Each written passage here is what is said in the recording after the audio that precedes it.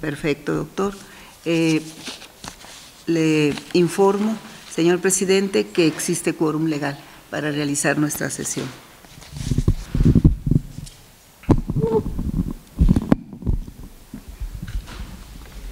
Siendo así, quiero darles a todos ustedes la más cordial bienvenida a este Congreso de las redes de posgrado en Derecho. Al efecto, me es muy importante rememorar un poco que en esta ocasión celebramos el décimo Congreso de la Red Internacional de Posgrado en Derecho y en consecuencia el noveno de la Red Mexicana.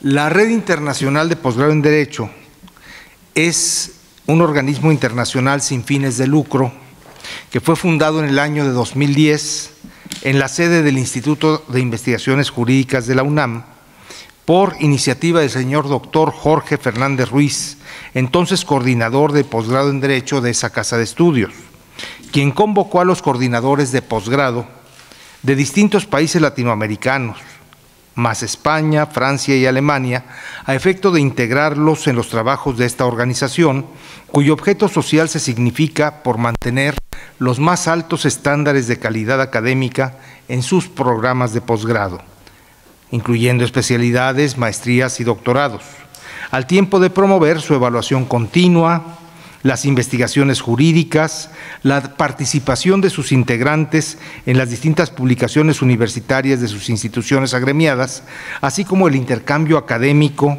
y la movilidad estudiantil, entre otros factores estratégicos de desarrollo.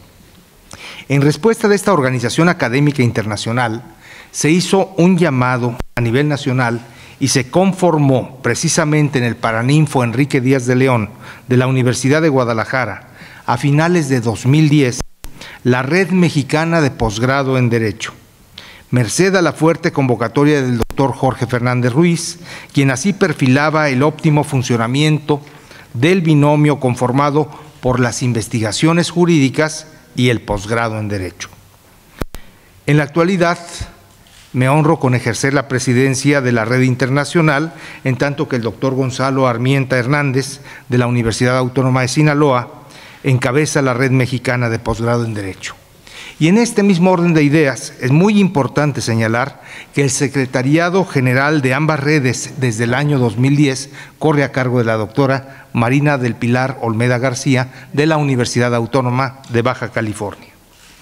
Para la décima edición del Congreso Internacional y novena del Mexicano, los integrantes de ambas redes asumen el compromiso de analizar el paradigma de los derechos humanos con el propósito de dimensionar los avances de la cultura de la paz, merced al anfitrionazgo del Honorable Congreso del Estado de Jalisco. En tal virtud, se ha organizado un programa académico que reúne las actividades establecidas a lo largo de la jornada vespertina de este jueves 5 y las jornadas matutina y vespertina del viernes 6 de diciembre de este año dentro de este Palacio Legislativo del Estado de Jalisco. En las agendas sociales de la RIPOD y de la REMEPOD, las siglas de nuestras organizaciones, se prevé un programa general que promueve el acercamiento entre los representantes de las distintas instituciones participantes a efecto de impulsar el intercambio y la colaboración deseable de sus comunidades, así como la movilidad estudiantil para robustecer la calidad de sus funciones sustantivas de docencia, investigación y extensión de la cultura jurídica en cada uno de sus planteles.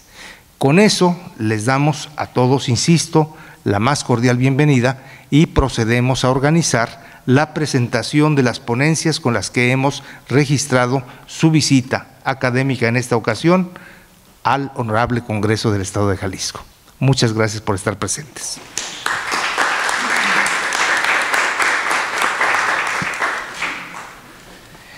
Y en secuencia vamos a pedirle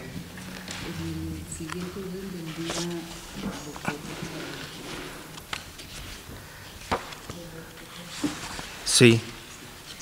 De acuerdo con el orden del día previsto, vamos a pedirle al señor doctor Gonzalo Armienta Hernández se sirva a hacer uso de la palabra, por favor. Muchas gracias.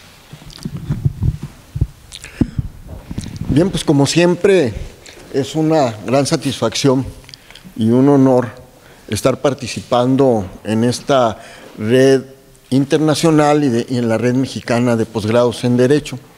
Como ya se mencionó, pues esta, la red internacional, primeramente fue creada a instancias del doctor Fernández Ruiz, eh, de trabajos que inclusive en la propia Universidad de Guadalajara habíamos desarrollado anteriormente, porque los antecedentes son un poquito más antiguos, pero sin formalizar, eh, sin formalizarnos como red, sino simplemente reuniones de posgrado.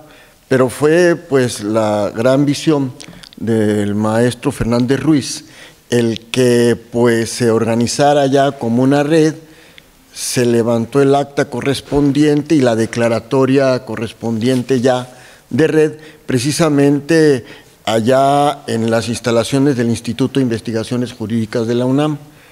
Y tradicionalmente le hemos pedido al doctor eh, Fernández Ruiz y también al doctor Ramiro que las reuniones, de ser posible, sean aquí en Guadalajara, en razón de que, pues, aparte de ser una ciudad muy agradable, pues a todos nos queda muy cerca el acceso y que también la, forma de llegar de, cualquier parte de la República hay acceso a Guadalajara y pues eso hace que pues sea muy atractivo venir a, aquí a Guadalajara independientemente de las ponencias que se vayan a presentar.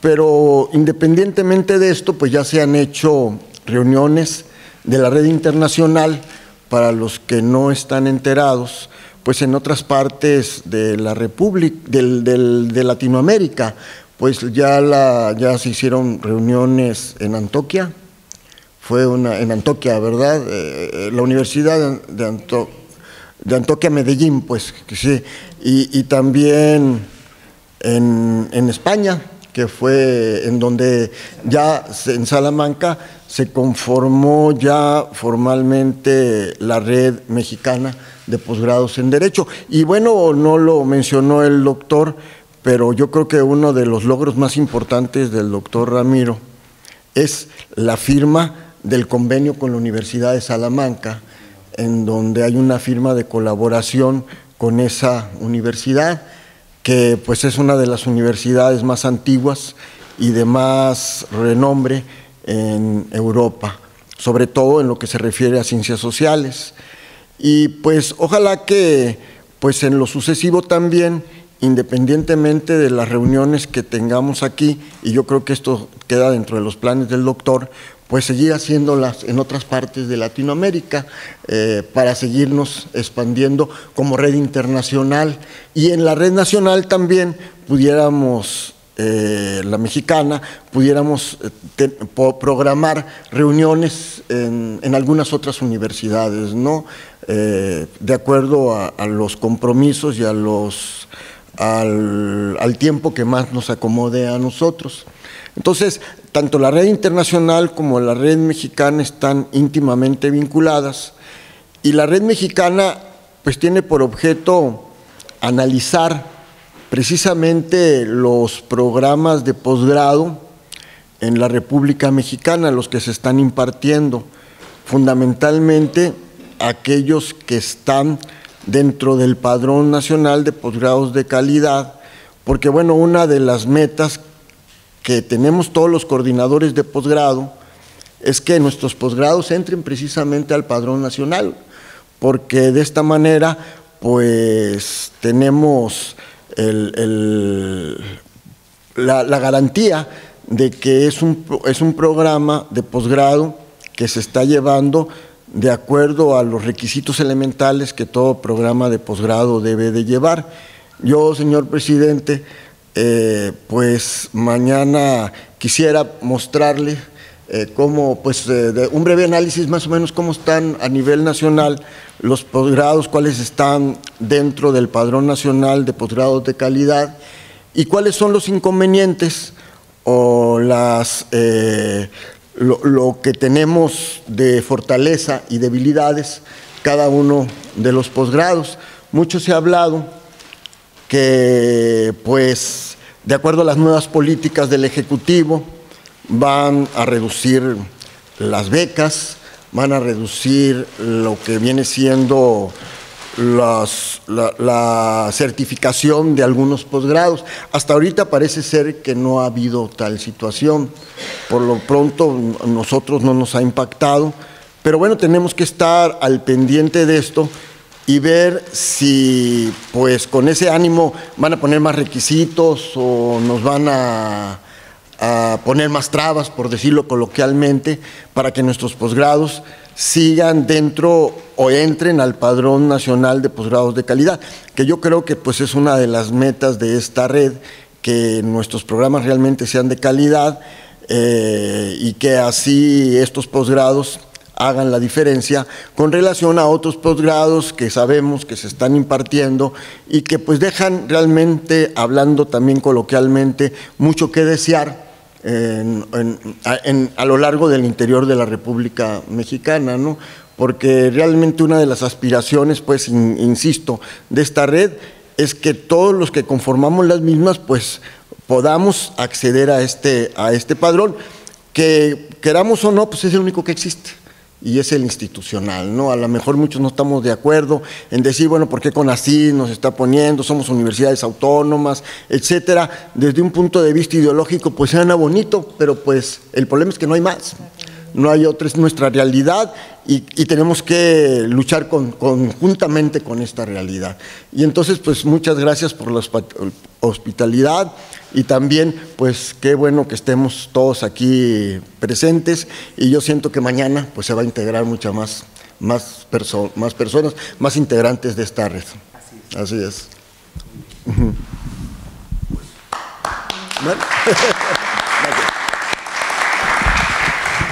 Muchas gracias por sus palabras al doctor Gonzalo Armienta Hernández, coordinador del doctorado en Derecho de la Universidad Autónoma de Sinaloa y presidente de la Red Mexicana de Posgrado en Derecho. A continuación, nos ha pedido la doctora Marina un espacio para hacer una presentación del observatorio. No sé si, si esto es lo que, lo que quiere presentar, doctor, mañana. Sí, o, lo, o es, uh... sí, es que también traigo algunas gráficas relacionadas a eso precisamente con lo que es el posgrado, pero sí se necesitaría un PowerPoint. Muy bien. No sé si se pueda mañana. Mañana lo podemos hacer, perfectamente. Sí. No, láminas, pero... nos abrimos el espacio correspondiente y hacemos la, la incursión uh -huh. respectiva. Y pues si les parece bien, comenzamos con la presentación y el desahogo de las ponencias preparadas por los distintos integrantes de la red para efecto de darle eh, continuidad a esta sesión de trabajo. Si es así, pues eh, doctora Marina, eh, Sergio, tenemos la lista de las ponencias a desahogar hoy. Cada quien va a presentar en el orden que se organicen ustedes. Muy bien. Pues conforme la, la asistencia, si quiere, doctora. La asistencia, porque la, la relación de ponencias, la, perdón, y se debió de haber registrado. Sí. O sea, sí, no, no van a hacer la relación de ponencias del desahogo en el mañana, a partir de mañana, doctor. O, o se no, previó. Las ponencias son para hoy. Ah, bien. Mañana el programa académico está Sí. organizado a lo largo del día. Así es. Ah, bueno, bueno, muy bien. Sí, porque, o sea, mañana todos estos son este, como paneles, panelistas. Así es. Es lo que tenemos registrado para mañana a partir de temprano. Sí, sí, sí. Bueno, entonces pues conforme a la, conforme a la relación está Alma Rosa Solís Ríos. Sí. Muy bien, doctora, muy bien.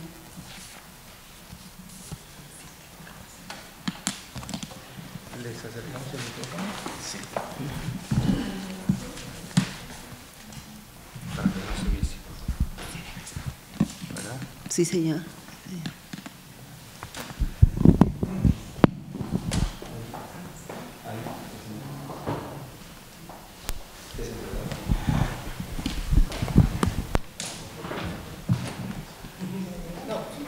bien, qué, bueno que se, qué bueno que se previó para que Muchas gracias. ella no, qué bueno que se previó. doctor. Buenas tardes, pues muchísimas gracias por este espacio. Realmente me siento muy emocionada de estar nuevamente en esta red nacional e internacional de posgrado. Tuve la fortuna de estar en el 2010 cuando este, estas dos asociaciones civiles fueron eh, fundadas y, y en voz de las autoridades de la Universidad Juárez del Estado de Durango, pues quiero decirles que hemos tenido un gran beneficio al tener un programa de doctorado institucional en el Padrón Nacional de Calidad.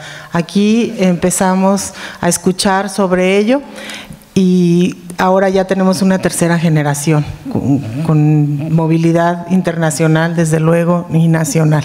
Soy parte del núcleo académico básico de ese programa, entonces pues muy comprometidos, la maestra Alma Rosa, ahora nuestra jefa de posgrado, la doctora Carla Obregón, pues me hicieron el favor de invitarme y yo preparé algo muy sencillo, un tema que me ha estado preocupando muchísimo eh, recientemente en la judicatura y pues eh, estamos viendo muchos problemas en los temas de los derechos humanos de las mujeres a una vida libre de violencia.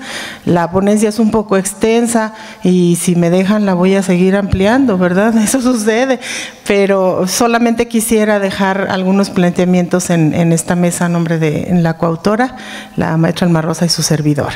Bien, pues eh, inicio con un planteamiento del problema que los derechos humanos son atributos, como todos sabemos, inherentes a las personas por el hecho de serlo, cuyo disfrute resulta indispensable para vivir con dignidad.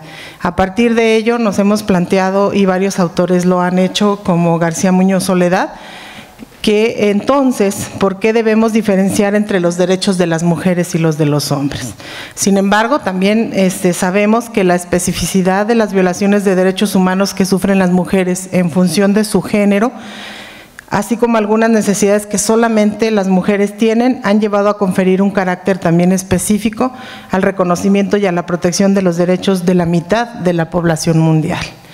Las mujeres tienen el imprescindible derecho a vivir una vida libre de violencia, ya que este, esta constituye un impedimento para que puedan desarrollarse en plenitud, con autonomía y libertad en todas las esferas de la vida. La violencia en contra de las mujeres es un hecho inaceptable que requiere obligadamente de la intervención del Estado. Por ello, se han adoptado medidas de carácter legislativo, judicial. Asimismo, se han eh, extendido políticas públicas tendentes a garantizar que las mujeres no sufran discriminación y violencia en razón de su sexo. La Organización Mundial de la Salud ha declarado que la violencia contra las mujeres es un problema de salud pública y una violación de los derechos humanos es sistemática y sucede en todo el mundo. Estos son datos que seguramente todos conocemos. El 35% de las mujeres y las niñas sufren alguna forma de violencia física o sexual a lo largo de sus vidas. Según datos del INEGI, 46 de cada 100 mujeres a partir de los 15 años han sufrido algún incidente violento a lo largo de la relación con su última pareja. Es decir, casi la mitad de las mujeres en México han sido víctimas de violencia. Traigo algunos datos en la tercera encuesta nacional de cultura constitucional en México 2016. En el rubro, esta encuesta es realizada por el Instituto de Investigaciones Jurídicas de la UNAM y en el rubro, en cuanto a eh, percepciones sociales de la violencia en contra de las mujeres, a la pregunta ¿en qué ocasiones se justifica pegarle a una mujer? Pues la mayoría de los entrevistados considera que no se justifica afortunadamente.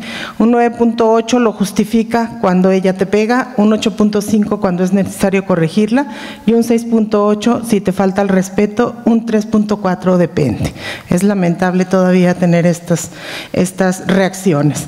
Si bien es cierto, los uh, resultados arrojan que la mayoría, mayoría considera que no se justifica el estado ideal, ser que nadie lo justifique.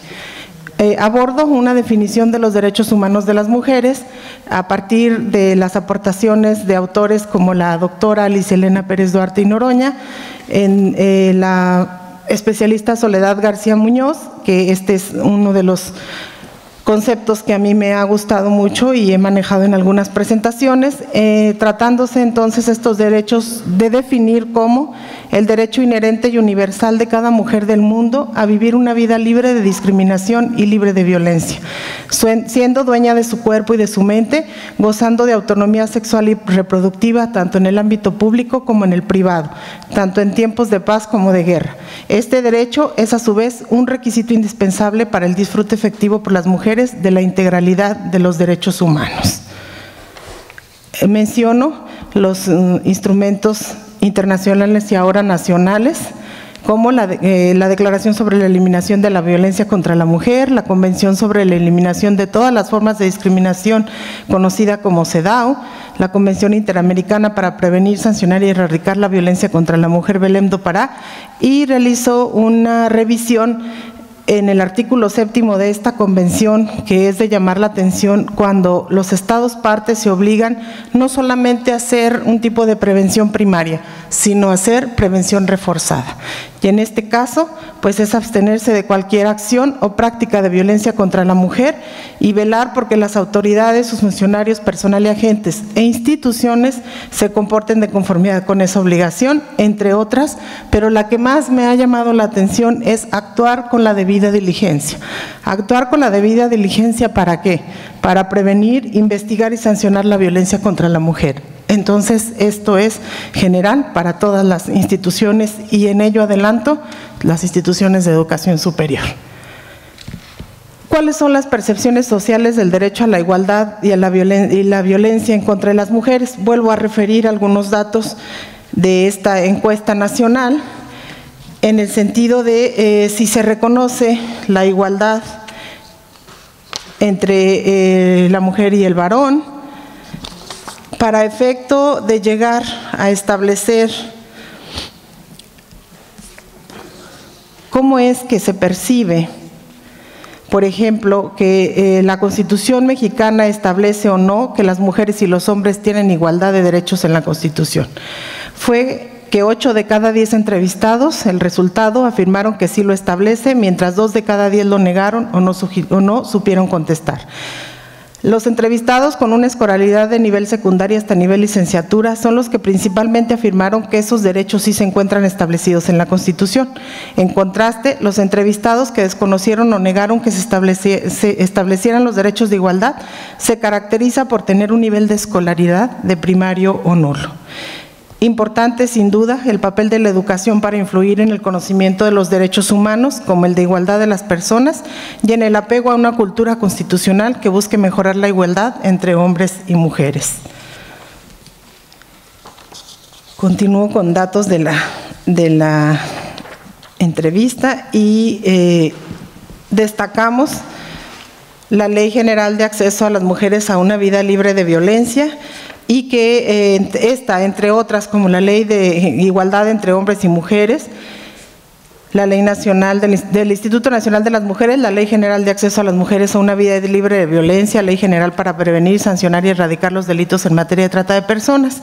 Es decir, tenemos, eh, sí, en lo formal, leyes que han sido expedidas para efecto de que la mujer tenga el acceso a una vida libre de violencia y ustedes lo saben, a partir de esta última específica, el primero de febrero de 2007. Sin embargo, pues los hechos nos están eh, diciendo, dando otras, otras lecturas y la igualdad sustantiva, pues seguimos en, pro de, ella.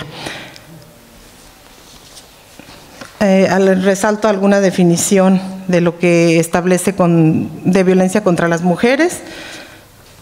Y voy a un punto en cuanto a la promoción de los derechos humanos y la cultura de la paz en las universidades públicas. Sin duda, las obligaciones del Estado a partir de la reforma constitucional de derechos humanos de junio de 2011 trae consigo obligaciones genéricas como promover, respetar, proteger y garantizar los derechos humanos y obligaciones específicas de prevenir, investigar, sancionar y reparar. Recordemos que son para todas las autoridades. ¿Cómo se debe garantizar el cumplimiento de los derechos humanos?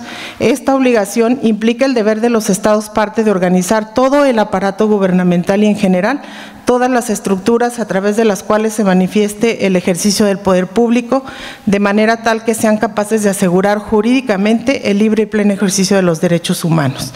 Los avances, insisto, en materia legislativa han sido relevantes. Podemos afirmar que en nuestro país existe una igualdad formal, más no sustantiva. Ni que no obstante los esfuerzos institucionales del Estado y diversas organizaciones de la sociedad por mejorar las interacciones entre hombres y mujeres en condiciones de igualdad, las construcciones sociales y culturales permiten que se sigan presentando situaciones de violencia en contra de las mujeres. Como se puede eh, apreciar, se requiere una culturización en temas como las nuevas masculinidades. El nuevo paradigma constitucional, a partir de la referida reforma en materia de derechos humanos, como instituciones educativas, es innegable la obligación de educar en materia de, de derechos humanos y promover la cultura de la paz. Toda vez que los derechos humanos constituyen el poder fundamental de la cultura de la paz, pues al promover la comprensión, el respeto y la solidaridad es posible lograr una convivencia más justa, libre y respetuosa de la dignidad humana.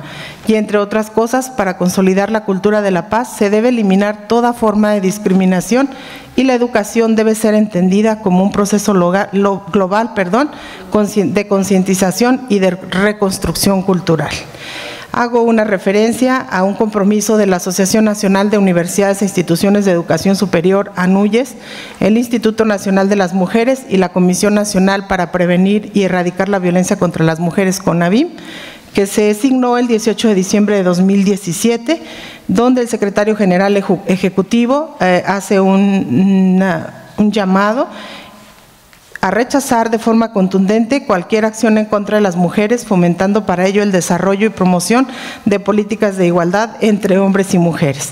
Aquí hace mención de la existencia de, los protocolos para la prevención, atención y sanción de hostigamiento sexual y, y, la importancia que tiene implementar acciones considerando los contextos locales, ya que la violencia se expresa de manera distinta en una comunidad que en la ciudad.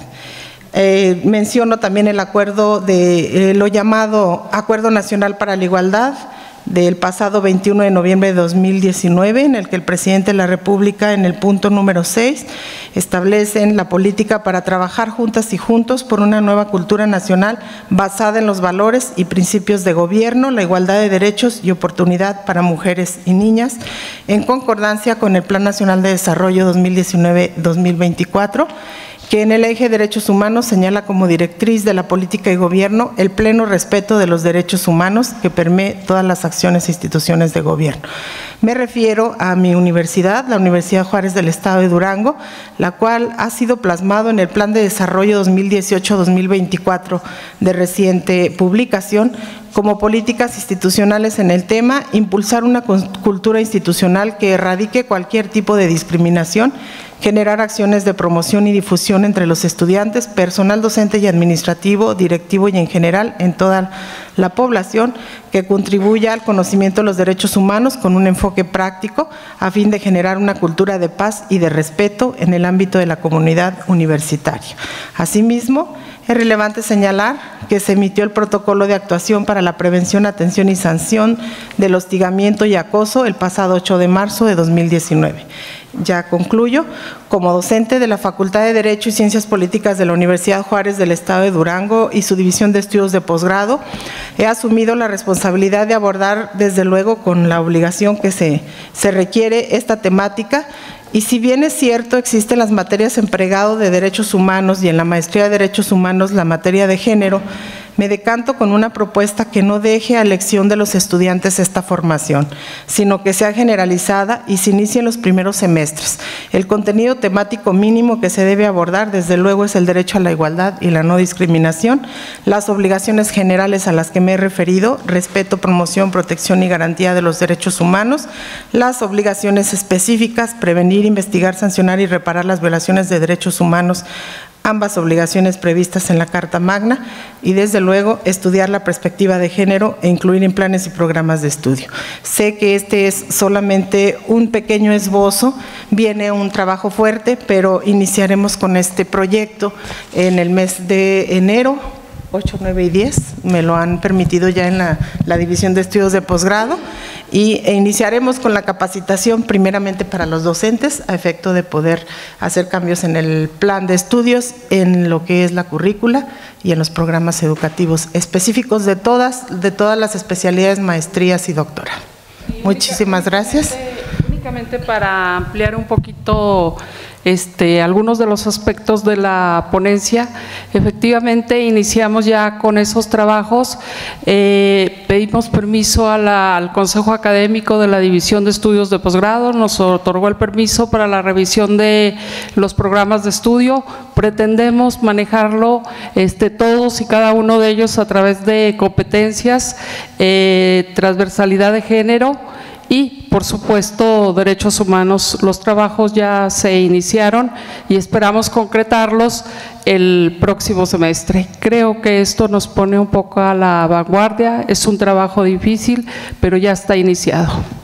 Muchas gracias. Muy bien, muy agradecidos y pues...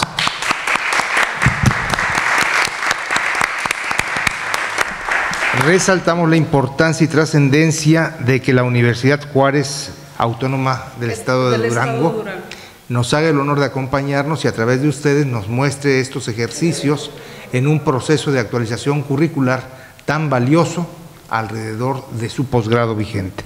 Así es que adelante. Doctora Marina, a continuación está, pues usted misma está registrada. Que se, Sí, mejor. María del Refugio. Bobadilla Saucedo. Sí, ya están los dos. Mm, la doctora Magdalena Martínez Quiral, por favor, de la Universidad de Guadalajara. Buenas tardes, muchas gracias, doctor Carlos Ramiro. Eh, eh, con el gusto de saludar a la doctora Marina, al doctor Gonzalo. Y, este, y pues agradeciendo al doctor Jorge Fernández Ruiz por darnos la oportunidad de, a los que nos gusta la investigación y la docencia, estar presente en este tipo de encuentros. Eh, tuvimos el honor de ser discípulos de él y qué bueno que siga trascendiendo y tengamos la oportunidad de saludar a diferentes colegas que vienen a, aquí a Guadalajara. El tema que me que voy a abordarles hablando de la cultura de la paz es algo que lo vemos frecuentemente, así como habló la, doctora Refugio del tema de la violencia de las, de las mujeres, vemos un tema muy ad en donde lo encontramos en cualquier parte del país, que son las manifestaciones públicas como derecho humano. Ahí tendríamos que preguntarnos hasta dónde este, violamos los que son manifestantes o los que somos agredidos como terceros, ¿no? Entonces empezaríamos con el concepto realmente qué es manifestar o qué es protesta. Me puse a buscar en el diccionario y realmente no encontramos una gran diferencia porque ambos, de acuerdo a la Real Academia Española, nos dice que la manifestación o marcha es la exhibición pública de la opinión de un grupo activista ya sea por aspectos económicos, políticos o sociales, mediante una congregación en las calles, a menudo en un lugar de fecha simbólica y asociados con alguna opinión. Mientras que la protesta nos dicen que es una acción y efecto de proclamar o declarar un propósito, expresar impetuosamente una queja o disconformidad. Dice, las protestas pueden manifestarse a través de una marcha, una manifestación, una carta pública, siendo que el mismo concepto nos lo estableció hablando de manifestaciones. Entonces quise eh, ver esa diferencia gramatical porque me encontré muchos artículos que algunos lo denominan como protesta social o pública y otros lo denominan como manifestación. Entonces realmente, aunque hay una conceptualización, yo creo que el fin es el mismo, al fin y al cabo, ¿verdad? Ahora, este, de acuerdo desde el punto de vista jurídico, pues empezaremos con la Declaración Universal de los Derechos Humanos, que fue proclamada el 10 de diciembre de 1948 y textualmente nos indica, todo individuo tiene derecho a la libertad de opinión y de expresión este derecho incluye el no ser molestado a causa de sus opiniones, el de investigar y recibir informaciones y opiniones y el de difundirlas sin limitación de fronteras por cualquier medio de expresión. Aquí sabemos que en México este, tenemos, eh, de, acuerdo a nuestra Carta Magna, esa libertad de expresión y la vemos plasmada en el artículo sexto, que textualmente nos dice que la manifestación de las ideas no será objeto de ninguna inquisición judicial o administrativa, sino en el caso de que ataque a la moral, la vida privada o los derechos de terceros, provoque algún delito o perturbe el orden público. Y quisiera adelantarme porque tiene relación inmediata con el artículo sexto, el artículo noveno, que dice que no podrá coartar el derecho de asociarse o reunirse pacíficamente con cualquier objeto lícito.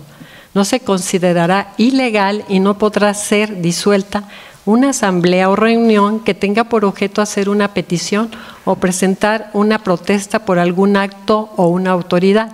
Y me pregunto, ¿qué ha pasado en, noticias recientes que hemos visto a través de los medios de comunicación? ¿no? De que si bien tenemos derecho a manifestarnos, creo que sí se ha este, ido en forma violenta respecto de algunas mujeres, hablando del derecho de la no violencia de mujeres, y si estamos proclamando un derecho de no violencia, pues yo creo que lo tenemos que señalar con el ejemplo. Este, si las mujeres decimos que no queremos violencia, pues tampoco nosotros como mujeres, y hablo como mujer, ¿no? También tenemos que hacer lo mismo. Y también me he encontrado con muchas opiniones en diferentes temas en donde quizás no podamos estar de acuerdo.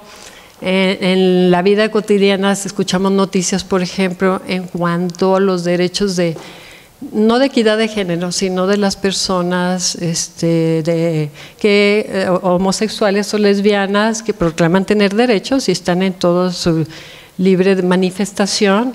Sin embargo, a veces los que proclaman lo contrario, por ejemplo, derecho a la vida, de que no sea la adopción, ellos son los que también agreden. Y es lo que manifiestan, ¿no? Dice, nosotros los dejamos que se manifiesten. De esa manera también nosotros tenemos de este, la libertad de discernir nuestras opiniones. Entonces aquí es donde yo creo que se encuentra la discrepancia hablando de la cultura de la paz, que si bien la Constitución nos está estableciendo esa libertad de expresión y de reunión, de acuerdo al artículo sexto y noveno citado, igual yo creo que todo se tiene que hacer como la misma la Constitución textualmente lo indica, ¿no? Con el respeto que, lo amerita para que podamos hacer. Porque ya al encontrar actos violentos, este, muchos dicen que están violando sus derechos humanos, pero también de qué manera te estás manifestando ante los entonces inclusive el hecho el artículo 11 que nos habla de la libertad de tránsito, a veces obstruimos este, vías de tránsito y las personas pues son Ah, agredidas en cuanto quieren ir a sus fuentes de trabajo y no les permiten pasar. Entonces yo creo que es lo más, para que haya esa cultura de la paz y demos cumplimiento a esas disposiciones constitucionales, pues realmente, a pesar de que, se traspasa las, el cuadro textual de la Constitución, se han tratado de crear leyes, pero por otro lado dice que se transgreden los derechos humanos. Aquí la incógnita está, bueno, entonces, ¿de qué manera vamos a lograr ese equilibrio? ¿Verdad? Si las leyes nos dicen este, que debemos de, no transgredir y violentar hacia los demás y lo haces y, daña, y haces daños a las cosas, entonces ¿qué papel debe de jugar el Estado? Porque si en este caso yo creo que sí debe de haber reglas porque, por ejemplo, si bien vimos ahora en esta reciente manifestación de la no violencia de las mujeres, desde el momento que alguien, y sí lo establece también la Constitución, que no debe de haber armas, desde el momento que ellos traen armas al estar en la manifestación, yo creo que son personas que no se les debe de permitir manifestarse. Entonces, el único equilibrio considero que va a ser de esa forma porque hace dos días también salió una noticia en donde se indicaba de que este, había un paso de una carretera y había personas que se desesperaron y un vehículo arrolló a varios de los manifestantes. Entonces yo creo que aquí el Estado sí va a tener que coadyuvar, ¿no? porque sí lo establece la Constitución, llegar a ese diálogo para llegar precisamente a esa cultura de la paz que todos queremos, ¿no? Vivir en un México con cultura de la paz y en que la, también la Comisión Americana de Derechos Humanos también lo establece tanto en su artículo 11, 13, 19, coadyuvando con lo que dice nuestra Constitución, yo creo que se tiene que llegar a ese equilibrio. Hasta dónde me puedo manifestar, pero hasta dónde debo de respetar el derecho de los demás. Muchas gracias.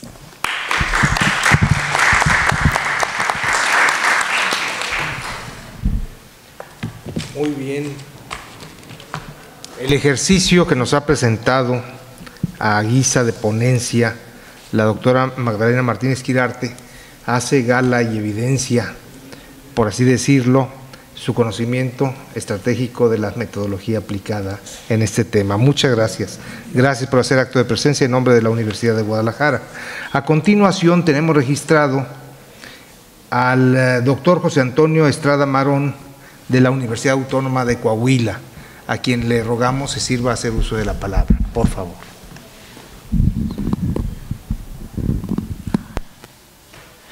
Sí, muchas gracias. Bien, pues buenas tardes a todos y a todas.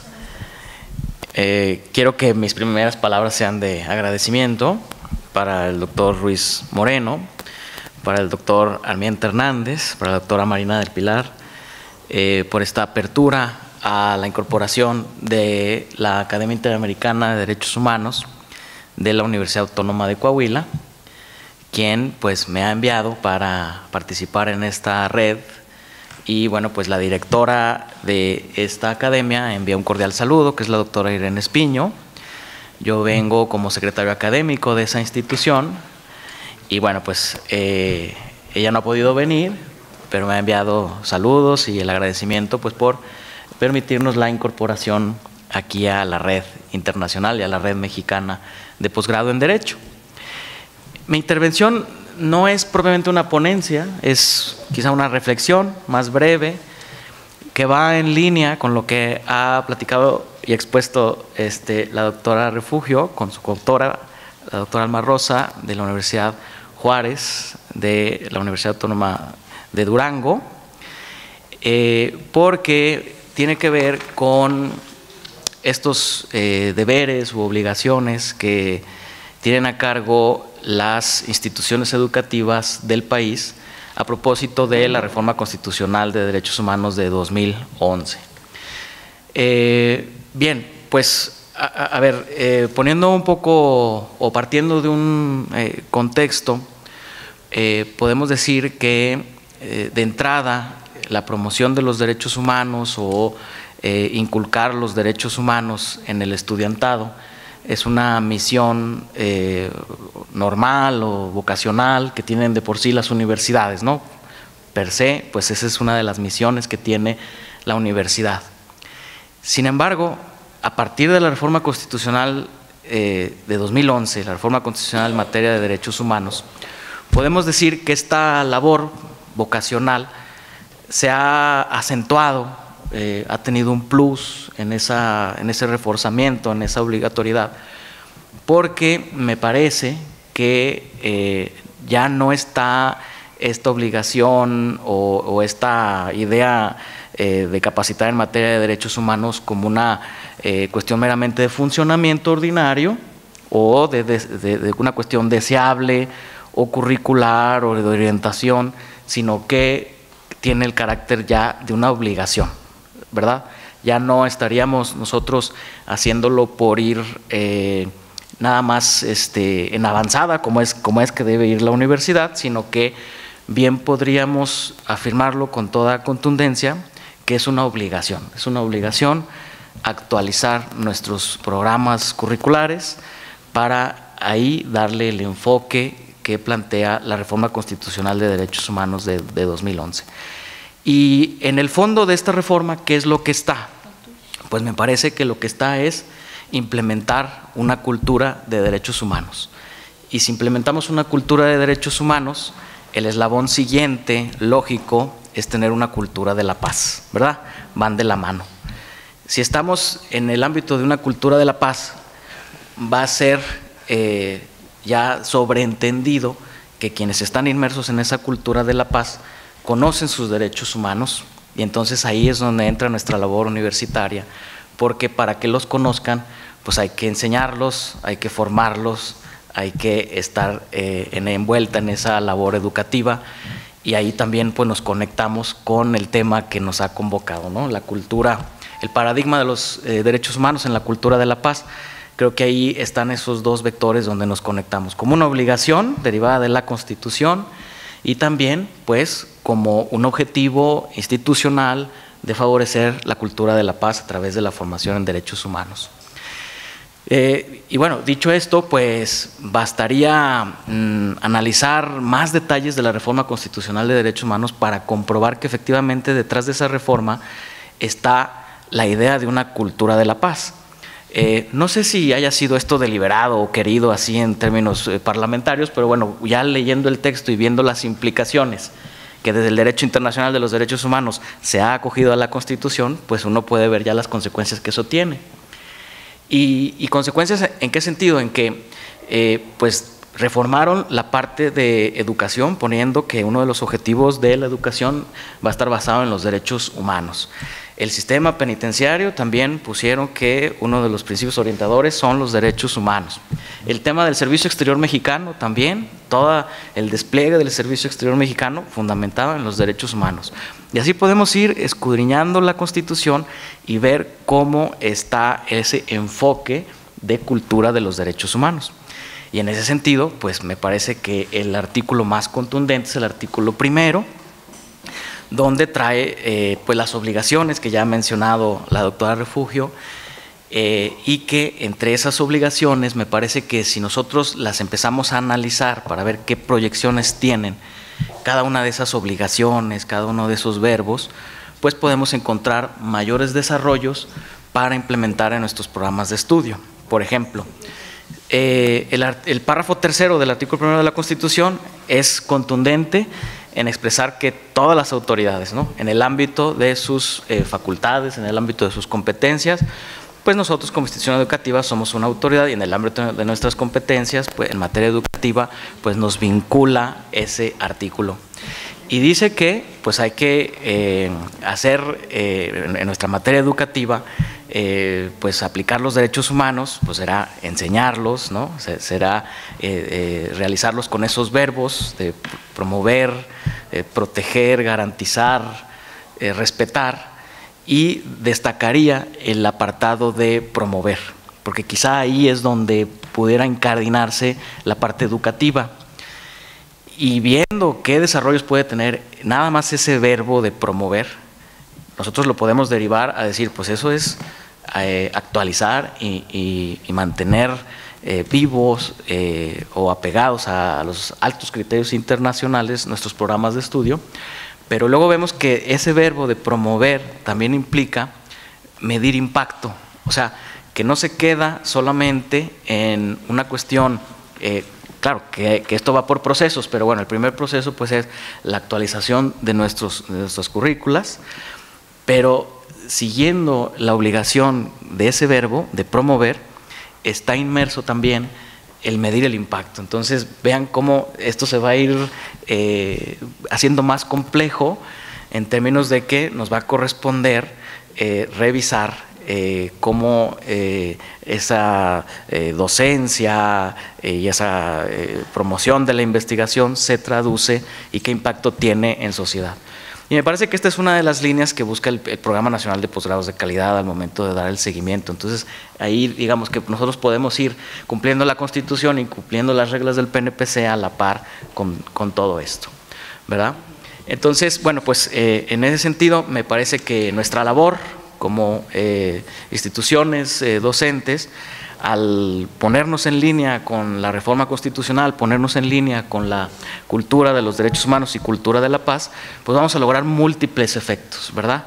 Uno de ellos puede ser en materia de género, donde nos hemos encontrado haciendo estudios sobre cómo se protege la perspectiva de género, pues vemos que hay todavía deficiencias en términos del el foro, ¿no? de los abogados. Y luego hay deficiencias en términos de, los, de, los, de quien está del otro lado del juzgado, ¿no? de los jueces, de las juezas, de la judicatura del país donde eh, pues podemos advertir que o a veces el foro no lo plantea, no plantea la perspectiva de género, o planteada la judicatura no lo valora así, o solo lo menciona o no lo hace bien o no lo, no lo, no lo entreteje y lo aplica. Y bueno, pues eso son resultados quizá que se pueden mejorar desde la universidad, por el lado que nos toca con, los, con el foro, y luego por las escuelas judiciales, por lo que les toca en el lado de la formación de la judicatura. ¿no? Pero eh, yo pienso que si desde nosotros, desde la labor que nos corresponde, nos ponemos en línea con el espíritu de implantar la cultura de los derechos humanos ordenada por la Constitución, pues cumplimos legalmente, cumplimos nuestra misión y cumplimos con la transformación del país y la cultura de la paz. ¿Verdad? Bueno, muchas gracias.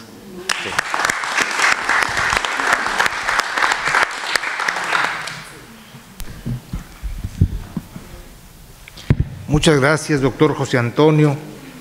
Creo que es más que oportuno y pertinente hacer esta reflexión porque efectivamente en el momento de establecer el eje temático para el desarrollo de estos congresos de las redes de posgrado en Derecho, pensamos en el paradigma de los derechos humanos, en la lógica o inscrito en la lógica de esa interpretación positivista que hasta antes de la reforma constitucional de 2011 se imponía para interpretar todo aquel, aquel principio que estaba clasificado como garantía individual, en la lógica de que una eran liberalmente establecidas garantías individuales y otras eran técnicamente garantías sociales.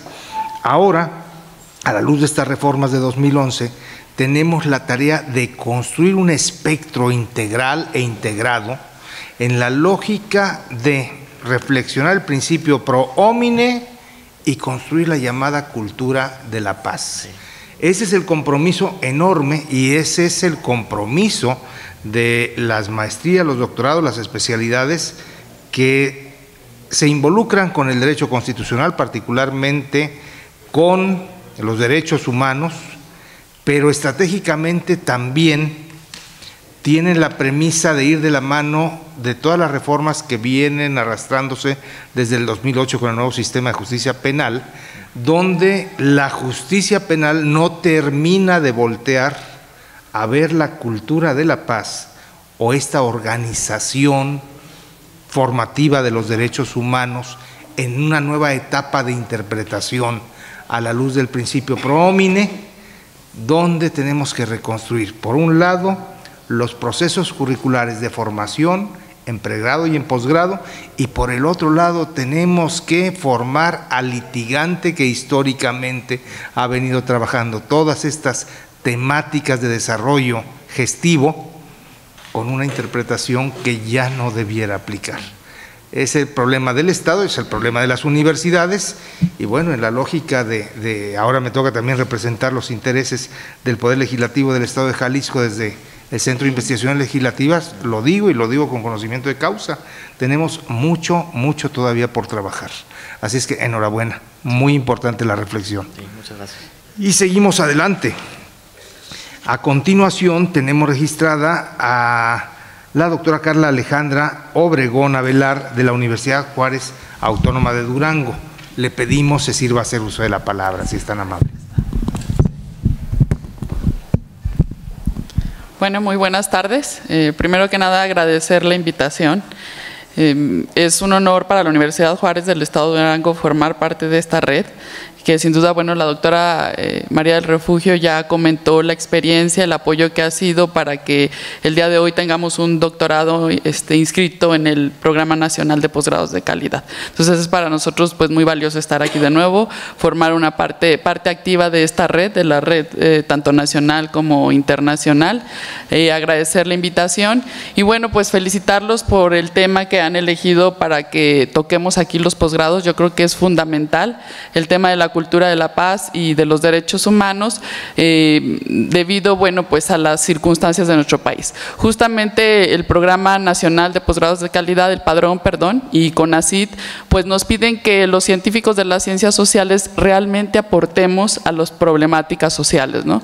Que dejemos de hacer eh, teoría y que la llevemos a la práctica. O sea, que realmente las aportaciones que realicemos como investigadores, como docentes, pues se vean reflejados no solamente en, en instrumentos jurídicos, en publicaciones, sino en la realidad social. ¿no? Entonces yo creo que ahí es el gran reto, uno de los grandes retos que tenemos como juristas eh, y pues por eso felicitarlos por el tema de la cultura de la paz, porque justamente yo creo que México, y no nada más México, sino a nivel mundial, vivimos una crisis de inseguridad la mayoría de los países.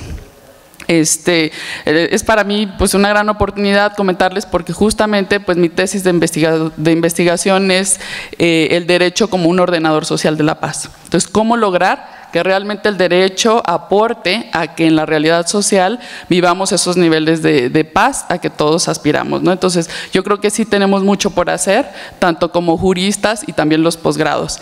en ese sentido, bueno, pues una de las propuestas sería fundamentalmente pues iniciar que en nuestra Constitución se estableciera el derecho a la paz no lo tenemos como tal. Al hacer una revisión de nuestra Constitución, pues encontramos que únicamente se refiere en una ocasión a la palabra paz en la Constitución y hace alusión al tema... Eh, relativo a cuando se pueden suspender justamente los derechos humanos por alguna causa de violencia. ¿no? Entonces yo creo que hay que hacer una reflexión porque sin duda yo creo que la mayoría de los juristas y, e investigadores científicos de ciencias sociales coincidimos en que uno de los fines tanto del derecho como del Estado es la paz. Entonces, bueno, pues de ahí debemos de partir de cómo hacerlo y si bien podemos crear esos sistemas jurídicos que tenemos ahí mucho por hacer en el tema legislativo, desde esa propuesta del derecho a la paz, incluirlo como un derecho, no solamente como una cultura, que desde luego ya está, ¿verdad? Porque como bien ya lo comentó el doctor, con la reforma del bloque constitucional, del nuevo bloque constitucional donde se incluyen los derechos humanos, pues sin duda están los tratados internacionales que forman parte de nuestro sistema jurídico de manera intrínseca, ¿no? Pero eh, yo creo que valdría la pena ponerlo como el derecho a la paz. Si bien algunas personas pueden decir, bueno, pues es algo muy abstracto, que no podemos medir, y eh, medir o valorar, actualmente pues ya se han hecho estudios muy interesantes, existe el índice de paz global, el cual en México se ha hecho desde el 2018 y nos muestra claramente, perdón, desde el 2011, cómo México tiene ese nivel de paz. Ese indicador es internacional, es apartidista, es de una asociación civil justamente también, y bueno, nos muestra cómo está México en ese indicador Cuenta con 23 indicadores, tanto cuantitativos como cualitativos, y mide la violencia interna como externa de, los países. Eh, México, desafortunadamente, pues en el ranking se encuentra eh, en los últimos lugares, pues hay que, hay que decirlo, y ha estado yendo hacia atrás también en ese índice en los últimos años. Y bueno, igual ahí aparece un análisis a nivel de estados, ¿no? donde se, se mide justamente el nivel de homicidios, la percepción, entre otros muy interesantes. Entonces, bueno, pues yo creo que tenemos mucho por hacer. Eh, no es una palabra abstracta el tema que estamos tratando de la paz. Hay mucho que aportar, lo, lo reitero. Y bueno, sería iniciar con las reformas constitucionales, pero desde luego yo creo que como posgrados, a mí me gustaría pues que nos quedáramos con la pregunta o la reflexión, como lo comentaba el doctor, respecto de cómo más podemos aportar. Y yo creo que eh, ahorita justamente con las políticas que se establecen en el Plan Nacional de Desarrollo, que por primera vez se presentó una estrategia nacional de seguridad al Senado de la República, este, pues yo creo que es indispensable con el tema de la Guardia Nacional, el modelo nacional de policía, que es lo que se está impulsando, pues que los posgrados pensáramos también en impulsar es todo este tema de fortalecer ciertas materias, sobre todo el tema de prevención, yo la verdad eh, soy de apostarle mucho a la prevención. Eh, yo creo que en materia penal, en las licenciaturas, nos hemos destinado mucho a dar la materia de derecho penal, pero solamente esta parte de formar abogados litigantes para el proceso, olvidándonos de la parte de la prevención. Yo creo que el propósito sería la prevención, eh, sería fundamental que sepamos, como lo establece el artículo 21 constitucional, que bueno, pues eh, la seguridad pública es desde la prevención hasta el sistema penitenciario. Y es todo un sistema donde tanto el policía, el Ministerio Público, el juez, el Estado, las universidades debemos saber que el fin es la paz, justamente. Entonces todos debemos ir encaminados a ese sentido. Entonces, desde ahí, bueno, trabajar desde las currículas. Y en el tema del posgrado, yo creo que también podemos aportar mucho con la Guardia Nacional, pues generando alguna maestría de calidad en tema de seguridad pública y seguridad ciudadana. Yo creo que sería una gran aportación de nosotros hacia el Estado, que realmente les demos una formación a nuestras policías, porque yo creo que es donde tenemos grandes deficiencias a los ministerios públicos en este tema y sí impulsar mucho el tema de la prevención y lograr que realmente, bueno, pues eh, se haga sentir y se, y se perciba que el derecho realmente puede ser un ordenador social de la paz y que las instituciones educativas podemos aportar formando este, eh, a las personas eh, todos los que tienen que ver con el sistema penal y con todo lo que se refiere a la seguridad pública, que es una tarea de todos, desde la sociedad hasta cómo estemos formados. Entonces, yo creo que esa sería la propuesta de llevárnoslo como una reflexión. Muchas gracias.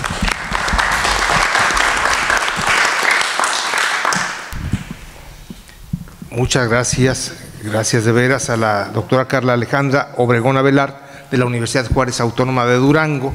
Y sí, Bueno, nada más una precisión. Es Sí. Universidad Juárez. Juárez, del Estado de Juárez del Estado de Durango. Juárez. Pero sí gozan de autonomía.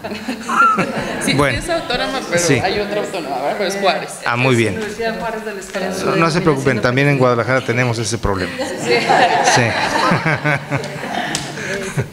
Bueno, muy bien, muy bien. Y quisiera comentar lo siguiente. Efectivamente, la cultura de la paz no solamente es el estudio del derecho constitucional y de los derechos humanos, eh, como tradicionalmente eran estudiados a través de las garantías, o del marco garantista que construye precisamente este paradigma, paradigma positivista. Eh, hago la- el hincapié especial en esa vinculación que tiene con el derecho penal y con la construcción de una escuela de prevención del delito. Aquí, la Universidad de Guadalajara sí ha creado una licenciatura en seguridad ciudadana. Ese es el enfoque. Y a partir de la licenciatura en Se- seguridad ciudadana y con el boom que tuvo la criminología junto con las ciencias forenses, se crearon licenciaturas en ciencias forenses y licenciatura en criminología. Los posgrados van de la mano necesariamente, pero sí es parte del compromiso del Estado para fortalecer la prevención del delito y evitar un tanto cuanto las políticas públicas de solución de los desastres cometidos con la violación del marco normativo penal. Seguimos adelante, voy a rogarle a continuación a la doctora María Eugenia Pérez Santana de la Universidad de Guadalajara se sirva hacer uso de la palabra para presentarnos su ponencia. Por favor. Muchas gracias, doctor. Muchas gracias, doctor Carlos Ramiro, presidente de la Red Internacional de Posgrado, eh, por invitarme de nuevo a participar en esta, en esta grandiosa red. Eh, gracias, doctora Marina, y, y pues también al doctor Armenta.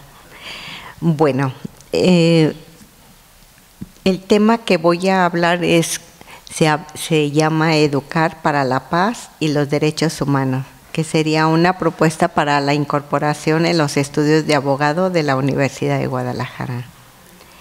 A partir de la reforma constitucional del día 10 de junio del año 2011, México se abre pie al nuevo paradigma en varios aspectos que parece están dispersos pero que en el camino se encuentran. Hoy, el capítulo primero de nuestra Constitución se denomina de los derechos humanos y sus garantías. ¿Qué implicaciones tiene esta reforma constitucional en el ámbito educativo, sobre todo en la formación de abogados en la Universidad de Guadalajara? La respuesta no es sencilla, pero trataremos de dar una respuesta adecuada. Las ideas aquí expresadas representan mi preocupación, primero desde mi formación como profesora normalista, después como abogada y también como profesora de la División de Estudios Jurídicos. Es una formación académica que he ejercido por algunos años, tiempo que a través del cual he sido testigo de cambios importantes, no solo en los aspectos pedagógicos, sino sociales, políticos y económicos, que influyen en la toma de decisiones para la formulación de planes y programas académicos. La pandemia de este siglo parece ser que es la violencia generalizada que vivimos día a día y que nuestros jóvenes parecen adoptar con tal naturalidad que parece convertirse en sus proyectos de vida. Nuestra función y obligación como docentes es precisamente incidir en una verdadera transformación, no solo su formación académica, sino también en lograr que adopten nuevos proyectos, nuevas visiones, tanto desde la academia como desde sus procesos de sociabilidad para con las personas y dejen de lado, o al menos eso tratamos de no tomar el, el espectáculo de la muerte violenta como algo que debe aceptarse. Con esto se va haciendo de la vivencia de los derechos humanos para todos y todas una realidad cada vez más lejana y de la violencia una realidad cada vez más cotidiana. Al contrario, debemos formar y forjar el carácter de cada uno de ellos para que la función educativa sea vivida y aprendida por cada uno de ellos. Volteen a ver a sus semejantes, a sus vecinos, a sus amigos, a su familia, a todo el ecosistema como una parte integrante de un todo que tiene repercusiones en cada uno de los que conformamos esta sociedad tan compleja.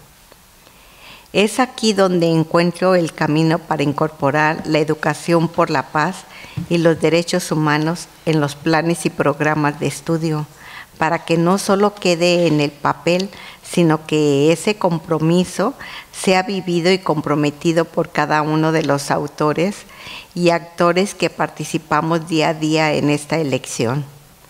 La respuesta y el beneficio será el lograr una sociedad más respetuosa, más solidaria, más comprometida con los valores universales que día a día platicamos que se pierdan. La Constitución Política de los Estados Unidos Mexicanos, desde su artículo tercero, nos brinda el camino sobre el cual trabajar al dibujar las ideas centrales sobre las cuales como docentes vamos a llevar a cabo nuestra función de formadores de ciudadanos críticos y responsables, solidarios y éticos.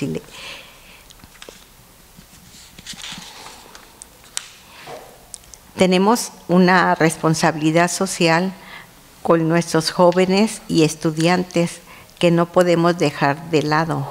La Benemérita Universidad de Guadalajara debe continuar con su tradición de formar no solo abogados, sino también de ciudadanos críticos, comprometidos en los valores universales de paz, solidaridad, justicia, pero sobre todo con respeto a la legalidad, evitando a toda costa repetir los modelos sociales de exclusión que tanto lastiman a las personas en la consolidación de sistemas de violencia estructural porque con ello se vacía la naturaleza de los derechos humanos, al ser permisivos de conductas y acciones que van en contra de la dignidad de las personas.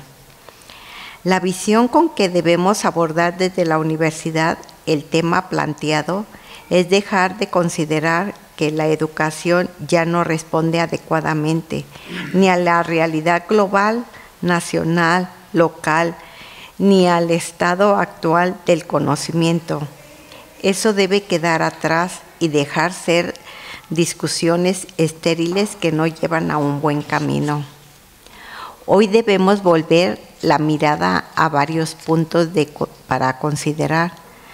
Debemos tomar en, en estos puntos si pretendemos llevar a cabo a un feliz término un verdadero proyecto de educación por la paz en el marco de los derechos humanos desde la universidad. Soy, soy sincera, estos puntos de vista no deben de ser tomados como verdaderos. Admiten la discusión y el, el enriquecimiento. El primero de ellos es el significado que se le da a la educación. de este significado se ha formado dos familias, las que ponen el énfasis en el proceso de cambio y las que destacan el resultado final.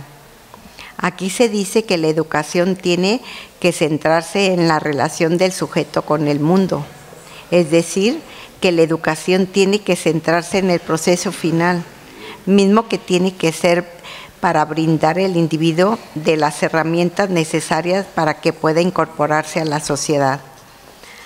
Abandonemos la idea de entender como sinónimo cualquier acción de transmisión, adiestramiento, repetición o memorización de los conocimientos, pero esto no es educación. Debemos tener siempre presente la intencionalidad educativa, la cual debe entenderse como un proceso riguroso de diseño y control de los resultados que se esperan obtener.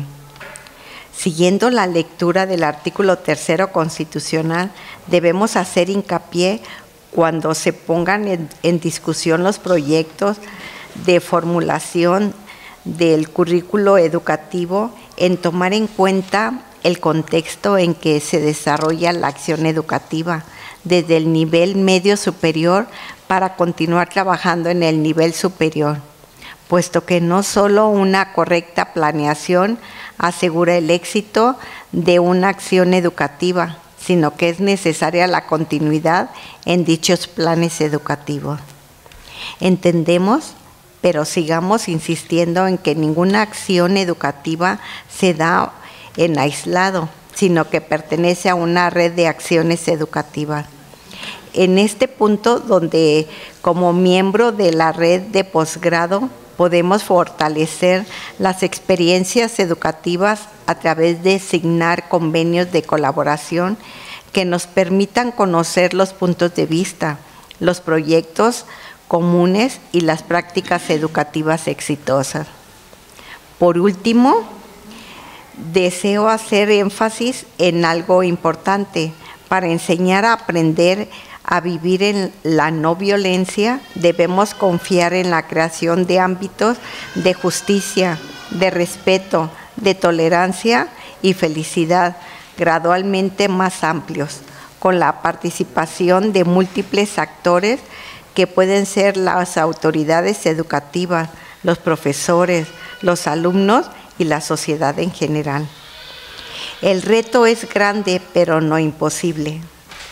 Educativamente pretendemos un proceso de enseñanza-aprendizaje de la cultura de la paz que implica una ética personal y social fundamentada en la convivencia, en libertad y en igualdad plenamente democrática inspirada en el respeto y reconocimiento de todos los convenios internacionales que reconocen los derechos humanos, favorecen un concepto internacionalista y global en la sociedad humana, se fundamentan en carácter el intercultural y mundialista, pretenden el desarrollo de todos los pueblos y optan por el desarme como principio.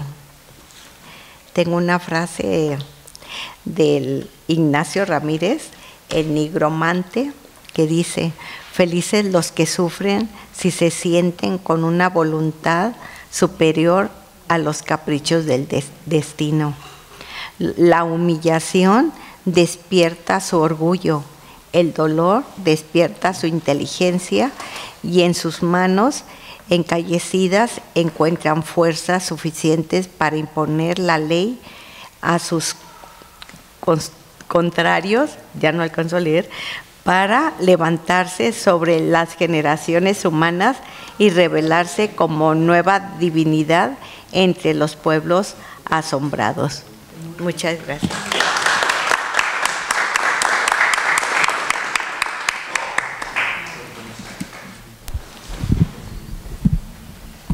muy bien con la doctora María Eugenia Pérez Santana, no me extraña, exdirectora de la Escuela Normal de Jalisco, profesora investigadora de la Universidad de Guadalajara de hace un ratito. Eh, pero además de ello, es una mujer que ha entregado la vida al servicio de la docencia en distintas instituciones.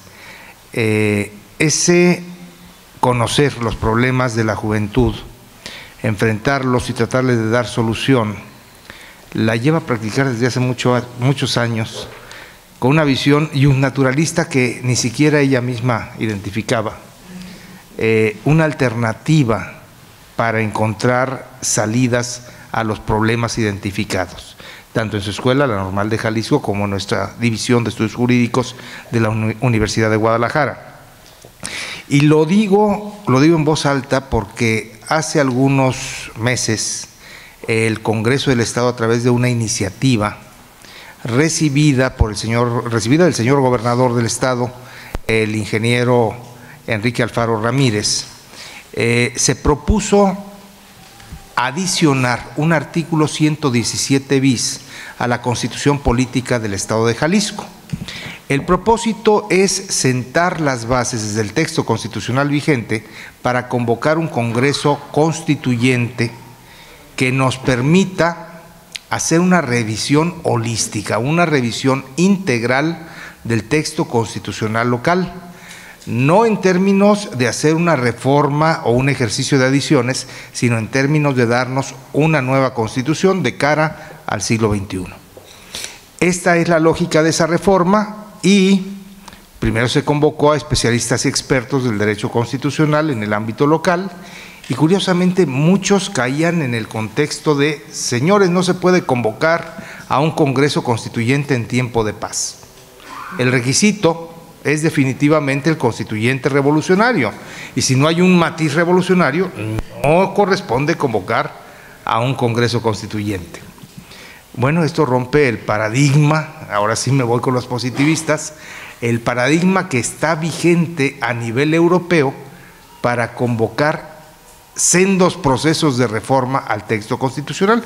Digo reforma porque técnicamente eh, el parteaguas del cual eh, darán inicio a sus debates contemporáneos es un Estado creado, un Estado consolidado y un Estado que requiere en todo caso actualización estructural. En el caso de Jalisco, como el de todos los estados de la República Mexicana, advertimos que hay artículos que nos están condicionando desde el pacto federal. La Constitución Federal nos tiene perfectamente tasado en el artículo 116 el principio republicano de la división de poderes. Con esa lógica, bueno, no puede haber más que un Estado local con tres poderes, y en la lógica de articulación tenemos que ceñirnos al ordenado por ese numeral. El artículo 117 nos obsequiará al municipio libre. Los artículos 118 y 119 nos darán la pauta de aquello que no debemos hacer para seguir perteneciendo al pacto federal. El 124 nos limitará las facultades de orden legislativo, ejecutivo y judicial, aquellas que no contravengan lo ya sentado o dispuesto por la Constitución Federal. El 126 nos sujetará el presupuesto con todo lo que ese paradigma significa y con los ejercicios de federalismo fiscal vigentes.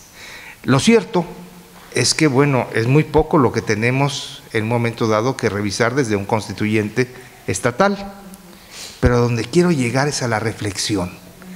Tratamos de construir un marco de cultura de la paz con el nuevo paradigma de derechos humanos desarrollado desde el año 2011.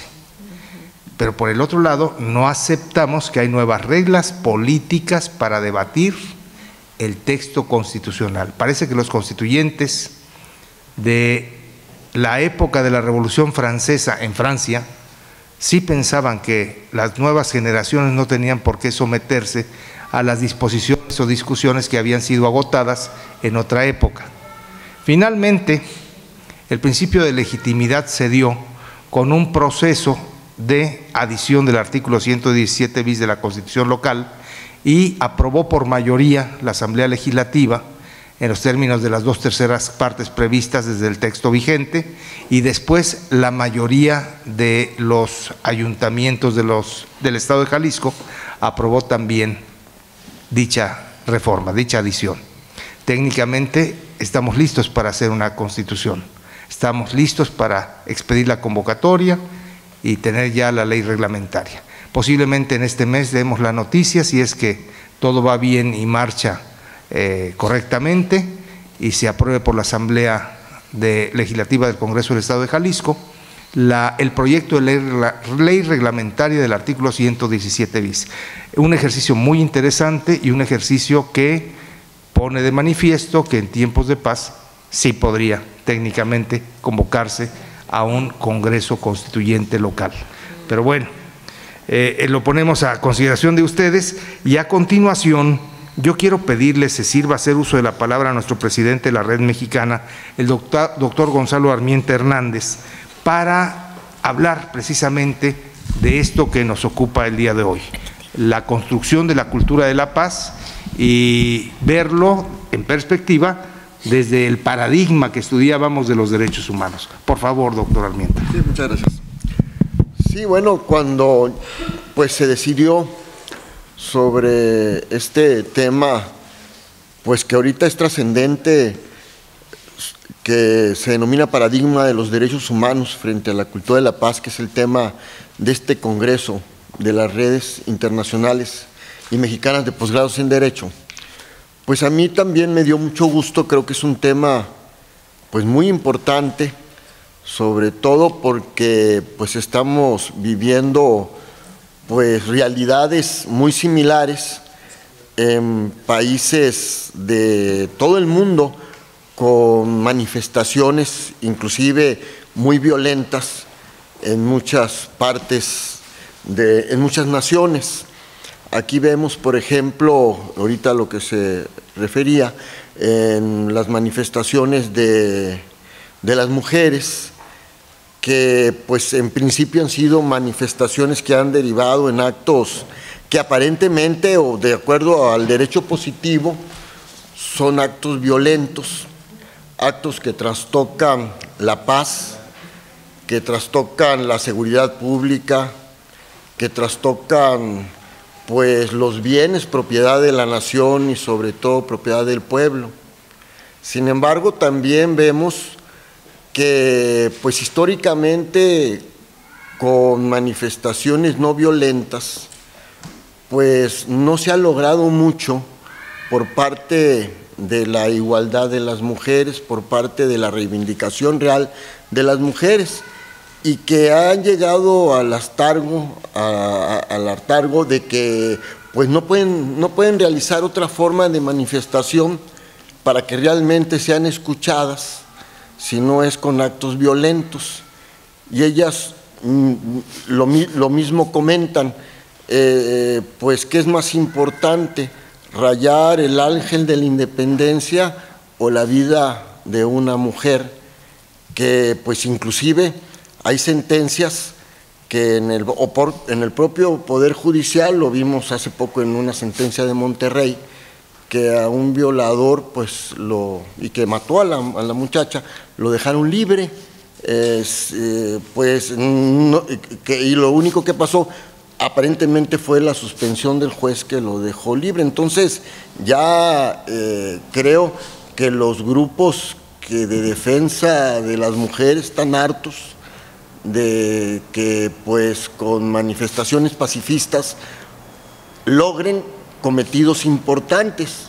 Sin embargo, bueno, también en estos días se está, eh, esto por ejemplo, no sé si es en toda la República, empezó un movimiento en Chile muy, muy característico en donde las mujeres que, hablan de que eh, no importa ni dónde estoy ni, ni, a qué horas sino que pues este creo que sí es un estribillo muy muy muy bien logrado de miles y miles de mujeres en Chile que se está duplicando en toda la República en, Culiacán va a ser este domingo en la allí enfrente de Palacio de Gobierno, en donde pues terminan con que el violador eres tú, ¿no?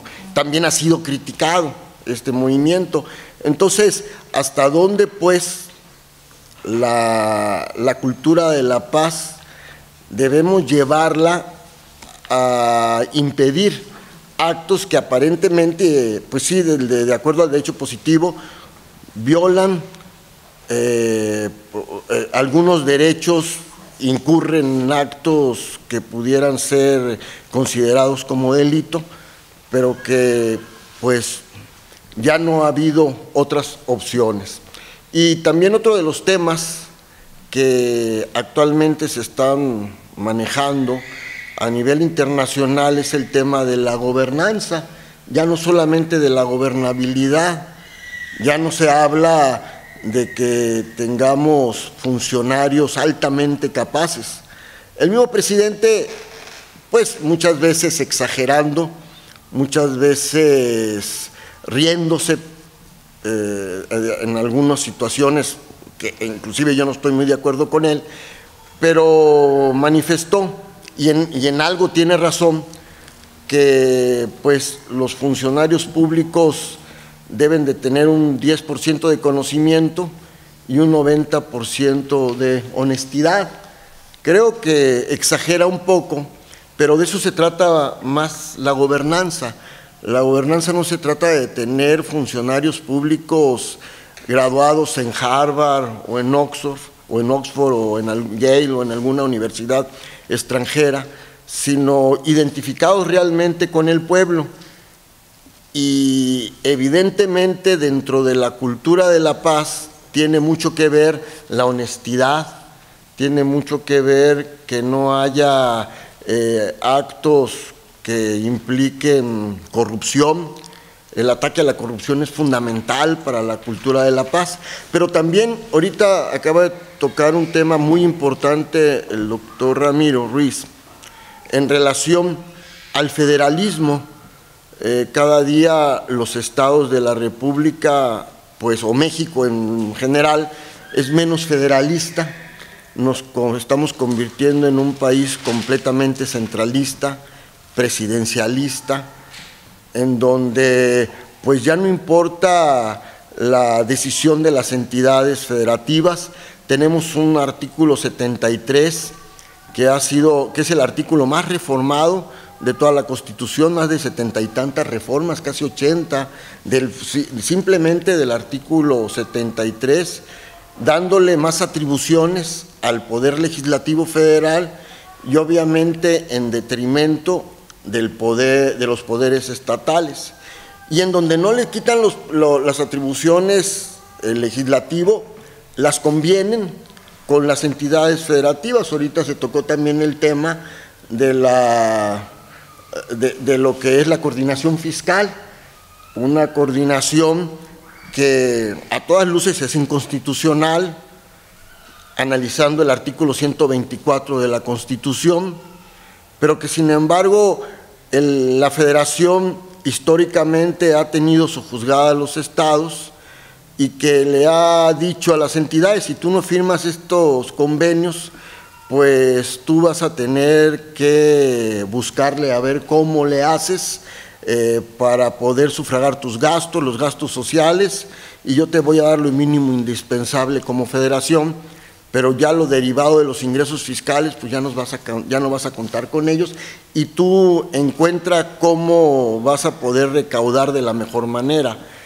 Y las entidades federativas hacen un análisis de esta problemática y pues llegan a la conclusión de que no, no es posible de salirse de este convenio de coordinación y siguen estando, porque, porque económicamente no pudieran hacer la recaudación necesaria y siguen dentro de la coordinación fiscal, pues yo siento que muy a fuerzas, como eh, la totalidad de los gobernadores, pero no les queda otra alternativa. Entonces, el tema de derechos humanos y fundamentalmente de la cultura de la paz tiene una gran cantidad de aristas.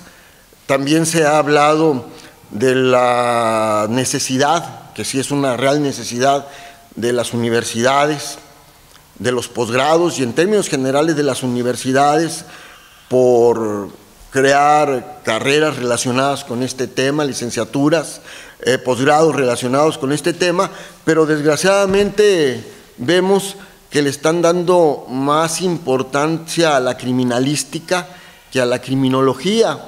En el estado de Sinaloa, en la Universidad Autónoma de Sinaloa, se acaba de abrir una carrera de criminalística y los criminólogos pues se jalan los pelos porque realmente cómo es posible que le den más importancia a la criminalística y a la criminología, la dejen un lado, siendo que lo más importante es la prevención del delito, no la investigación en sí, que no se debe de soslayar la investigación, pero lo más importante viene siendo la prevención del delito. Y temas como estos, pues tienen que ver precisamente con la cultura de la paz, eh, las reformas a la Constitución, que como un derecho humano también que se establezca el derecho humano a la, a la paz. Esto pues obviamente está contenido en la Declaración Universal de los Derechos del Hombre, que, que aquí pues fue uno de los aspectos fundamentales de esta declaración eh, en 1948, eh, eh, para que se pacificaran todos los países del mundo adheridos a esta, a esta convención, pero que sin embargo, pues la constitución como la constitución en México, pues no, no aporta esta cultura de la paz desde el punto de vista constitucional. Y no solamente establecerla como un soft law, porque eso es muy sencillo, ¿no? Un artículo más diciendo que es derecho humano eh, el, que toda la sociedad viva, viva en paz, pues eso no tiene Ningún, porque también es derecho humano que todo el mundo viva con dignidad, que todo el mundo tenga una vivienda digna, que todo el mundo tenga derecho a la salud y sabemos que es soft law solamente, ¿no? Sino realmente encontrar los mecanismos constitucionales para que se obtenga constitucionalmente un, un verdadero derecho humano a la paz. Y es por eso pues que esta esta convención, esta reunión de redes de posgrados en Derecho, pues tiene una importancia capital en estos momentos en donde en verdad está convulsionado la sociedad. En breve también México no, pues ya se empieza a convulsionar con la problemática de las mujeres, que es una problemática muy importante y que se le ha pues históricamente soslayado y, que pues lo único que se ha logrado en algunos momentos es que pues haya igual número de hombres y mujeres en algunas posiciones, pero no en todas. No es un derecho constitucional todavía este tema. Si nos vemos, si vamos a los al poder ejecutivo o a, los poderes, pues vemos que hay más hombres que mujeres en, en los, en los en los puestos claves y pues todavía nos falta mucho camino por recorrer para que exista una verdadera igualdad. El tema también que se va a tratar mañana, el tema de los indígenas, que es fundamental porque, bueno, eh, se ha hablado mucho del derecho humano consagrado en el artículo segundo constitucional, eh, que, se le ha denominado ley indígena, pero no hay una verdadera ley indígena en México. Eh, todavía no se pone de acuerdo ni siquiera la sociedad mexicana qué es un indígena, es un grupo también completamente desprotegido. La Corte ha señalado que por indígena se debe de entender el que asuma tal calidad pero pues yo creo que es un concepto completamente erróneo de la Corte. Yo siento que debe de haber ciertas características eh, ah, que, que, den la situación de que realmente sea un indígena y que tenga los derechos que maneje el artículo segundo, que haya una ley eh, federal en materia indígena, de derechos indígenas. No hay tribunales indígenas, por ejemplo, otro tema que, se, que, es muy importante manejar, indígenas que, los, eh, que los eh, aprenden, que los detienen en el hecho mismo del crimen.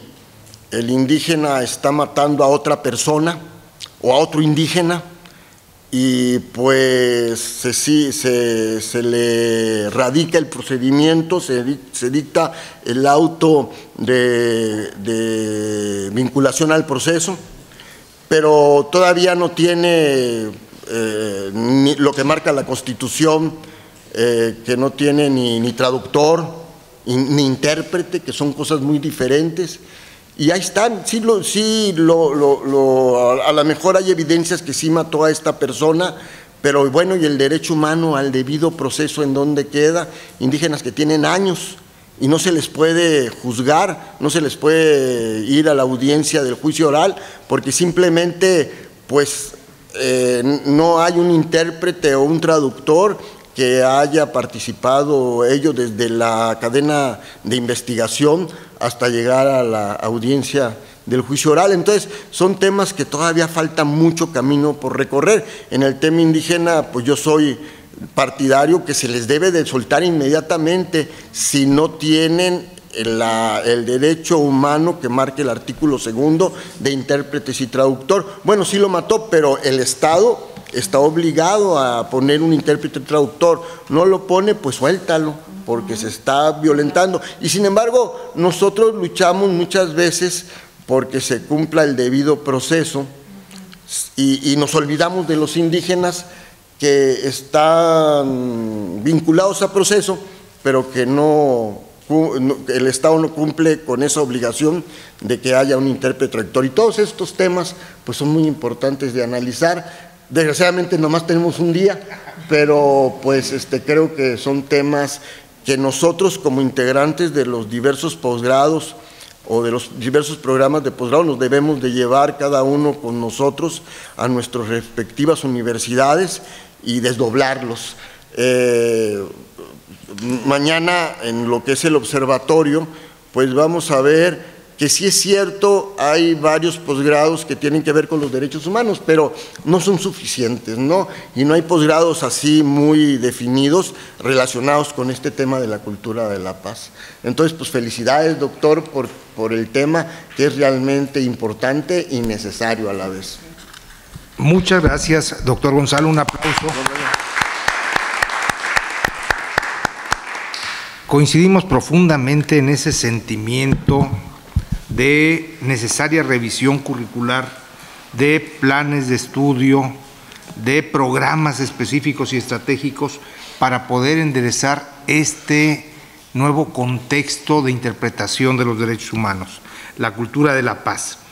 Eh, yo quisiera decirles que pues el compromiso es muy grande, la vinculación entre poder público, universidades públicas y privadas, y el propósito de hacer un mejor ejercicio de formación de los abogados y los posgraduados en Derecho o Ciencias Jurídicas es, está latente, está latente, pero no encontramos todavía el momento para declarar que este estado de cosas ha terminado de generar derecho positivo.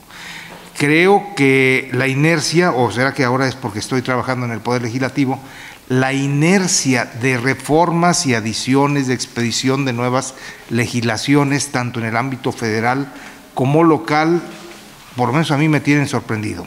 Y me tienen sorprendido por esa rapidez informativa. Los muchachos aplican nuevas tecnologías, las TICs en el proceso de aprendizaje. Creo que tienen más costumbre los estudiantes en este momento que nosotros como profesores para estar tan al día en un proceso de navegación permanente a efecto de obtener información. La información formal eh, me parece que, pues caray, estamos enfrentando nuevos, nuevos eh, estamentos. Eh, la suspensión de la impresión del periódico, del diario oficial de la Federación, nos pone sobre aviso de lo que va a suceder con los periódicos locales, con eh, las gacetas municipales, con todos estos impresos que históricamente nos han permitido tener una cultura de papel. La cultura de papel nos daba seguridad jurídica, por lo menos a los litigantes les daba seguridad jurídica, en la lógica de venir a los congresos a certificar las legislaciones. No quiero pensar qué vamos a hacer. Ya no certificamos el diario oficial de la Federación por obvias razones, no tenemos el, el diario oficial de la Federación al día como lo tuvimos hasta hace meses, y con el periódico oficial del Estado de Jalisco creo que en este momento el Ejecutivo está analizando la pertinencia de tomar una decisión similar, el Ejecutivo local, por supuesto, con el periódico oficial, el Estado de Jalisco. No sé, bueno, creo que el Tribunal de Justicia Administrativa y Fiscal de la Federación ya nos puso la muestra de lo que son los juicios en línea. Y con los juicios en línea seguramente pues el boletín judicial también migrará a esos contextos. Las nuevas generaciones, insisto, no van a tener ningún problema. El problema somos nosotros en términos de enfrentar las eh, nuevas modalidades que se nos presentan. Muy importante todos estos razonamientos, doctor Armienta. Yo creo que cada una de nuestras casas de estudio tienen que tomar cartas en el asunto y tenemos que ponernos a reflexionar en las juntas académicas correspondientes sobre lo que sigue. Y son demasiados los cambios que tenemos que incorporar. Eh, a continuación, en nombre de la Universidad Autónoma de Guerrero, nos hace el honor de acompañarnos el doctor Francisco Guerrero Flores y el doctor José Antonio Soto Sotelo, quien entiendo tiene eh, la inquietud de, de participar con nosotros. Así es que bienvenido y le pedimos se sirva hacer uso de la palabra, si es tan amable. Muy bien, muchas gracias y bienvenidos los dos. Bueno, primeramente, eh, mucho gusto. Mi nombre es José Antonio Soto Sotelo. Soy originario del estado de Guerrero, de la Costa Grande, y eh, me estoy desempeñando como coordinador del posgrado. Tenemos un posgrado eh, en materia electoral y uno que tiene dos terminales, uno en penal y el otro en constitucional. Agradecer al doctor Francisco Guerrero que pues, nos invitó a ser partícipes en esta mesa. Agradecerle también al doctor Carlos Ramiro y al doctor González Armenta, que lo, Gonzalo Armenta, que lo conocí ayer. Ahí estaba desayunando, ¿verdad? Eh, bien, primeramente hacer eh, énfasis en dos frases. Una de una niña que la atacaron los talibanes y decía que un libro, un maestro, un niño y un lápiz pueden cambiar al mundo. Me refiero a Malala. Paulo Freire lo decía de manera más sintetizada. Él decía que la educación no cambia el mundo, sino que cambia las personas que van a cambiar el mundo. En el posgrado nosotros cobijamos e impulsamos una cátedra que ya está aprobada por Consejo Universitario. La cátedra se denomina Cátedra para la Construcción de la Paz. En el análisis que hemos ido trabajando también en el Consejo Universitario también ya nos aprobaron que pudiéramos hacer las currículas, la, eh, la materia sobre la construcción de la paz, eh, eh, ver la paz como un objeto de, estudio. Entonces tenemos ahí una tarea pendiente de hacer los libros para que los alumnos de nivel medio superior y superior de la Universidad Autónoma de Guerrero puedan llevar esta materia, puede ser como una optativa o dentro de las EFIS o dentro de su formación profesional. Porque al final de cuentas nosotros no vemos como Cátedra de la Paz, pues la paz solamente como ausencia de la guerra, sino que vemos que la paz no existe cuando hay desempleo, cuando hay hambre, cuando hay una mala distribución de las riquezas y comentando aquí sobre la mesa denominada paradigma de los derechos humanos frente a la cultura de la paz, yo quiero comentarles que nosotros vemos pues a los derechos humanos y la cultura de la paz como la cara de la misma moneda. Eh, no puede haber paz si no hay justicia. Comentarles también que nos hemos reunido con el presidente de educación del Congreso del Estado de Guerrero, le hemos expuesto sobre el tema de crear la cultura de la paz y él a su vez tendrá que hacer una iniciativa donde esta temática de la construcción de la paz pues se vaya implementando desde educación preescolar, primaria y secundaria y obviamente también en los subsistemas que ellos tienen.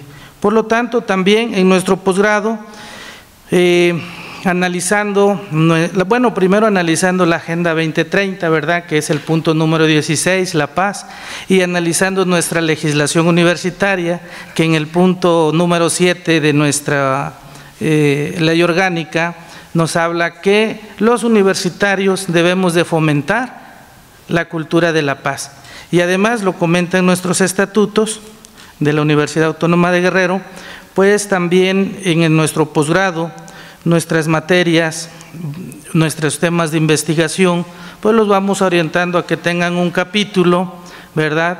Un tema, subtema, sobre la cuestión de la paz.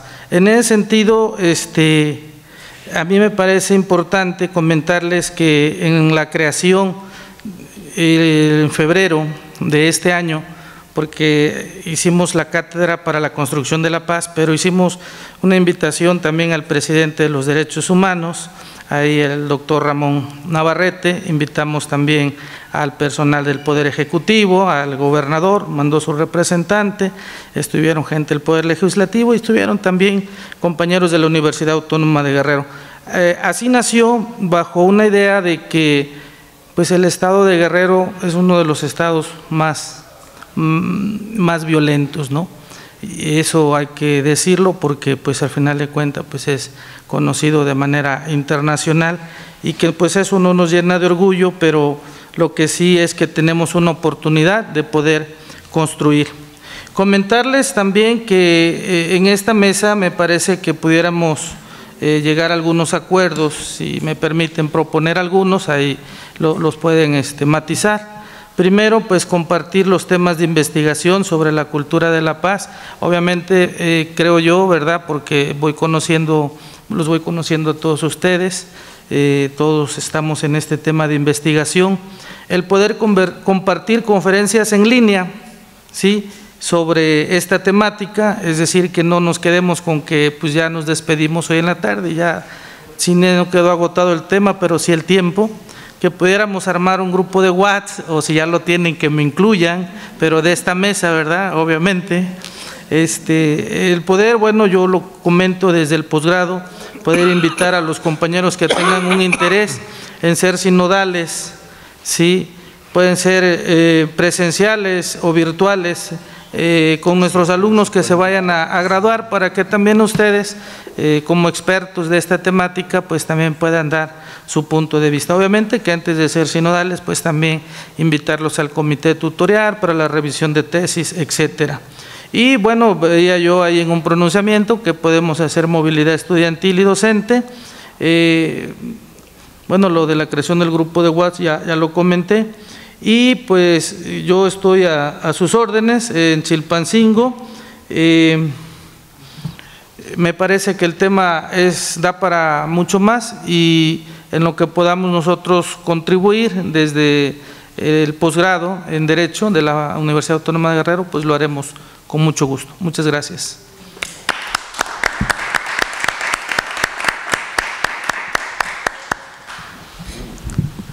Muy bien. Doctor José Antonio Soto Sotelo, de entrada, como dicen ya, bienvenido a esta red. Por supuesto que lo incorporamos de manera inmediata a nuestro grupo de WhatsApp, si lo tenemos. Eh, y generalmente estamos inquietos en todos estos temas, así es que enhorabuena.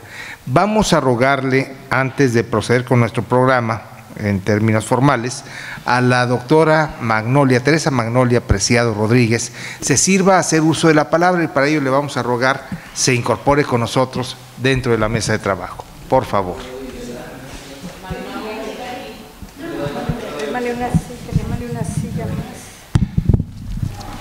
Muchas gracias. Gracias, doctor Guerrero. Muy gentil. usted un caballero. Muchas gracias, doctor. De la Universidad de Guadalajara y particularmente del Centro Universitario de Tonalá. Además, mi coordinadora del doctorado en Derechos Humanos. Gracias, doctor Carlos Ramiro, su centro amigo. Con su venia, señor presidente. Gracias, doctor Carlos Ramiro.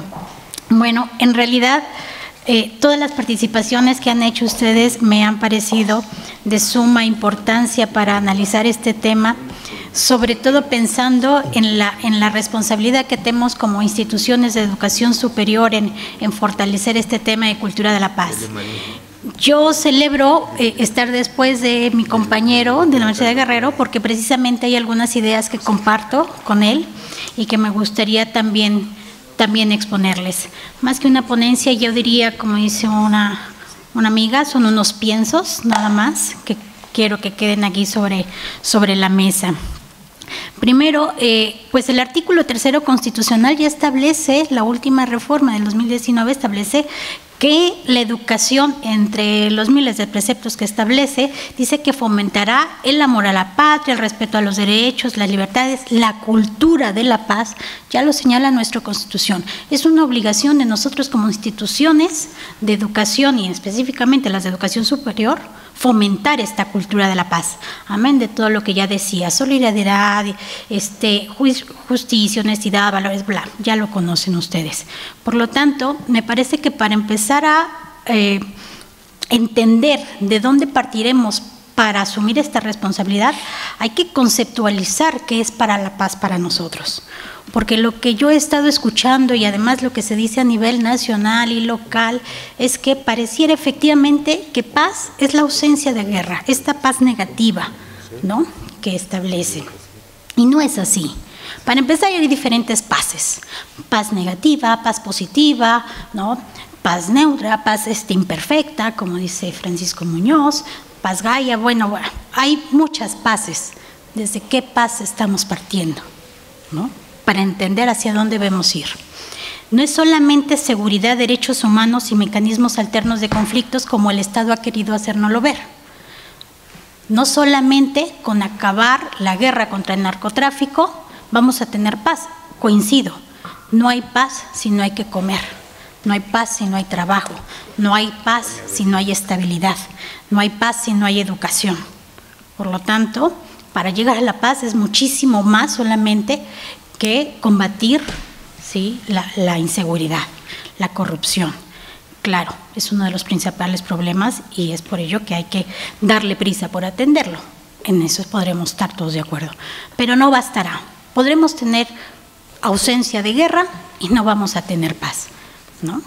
Porque además la paz es interna y cada uno tiene diferentes tipos de paces, ¿no? Y a lo mejor puedo ser el Dalai Lama, pero el día que me agarran enojado no va a haber paz, ¿no? El día que le toquen, me toquen a mi familia, no va a haber paz. Por lo tanto, hay que entender primero qué es la paz. La UNESCO eh, ya estableció en realidad desde 1999, cuando eh, firmó la Declaración por la Paz, que hablar de cultura de paz es un conjunto de valores, actitudes, tradiciones, comportamientos y estilos de vida basados en una serie de principios.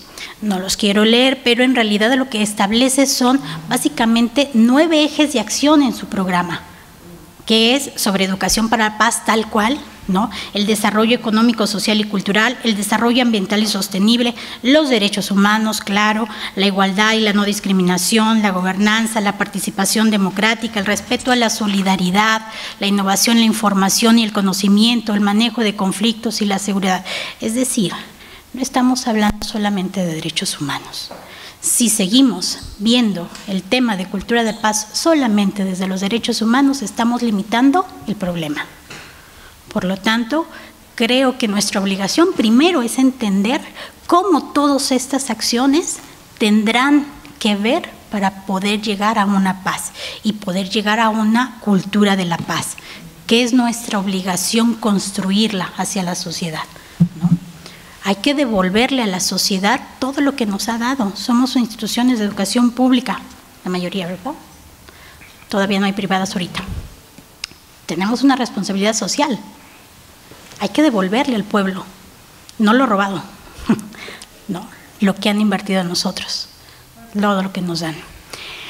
Para ello, esto además, esto tiene que ver con el cumplimiento efectivamente de la Agenda 2030. Todos estos, este, todas estas acciones tienen que ver para el cumplimiento de estos objetivos y el cumplimiento de los llamados ahora este, DESCA.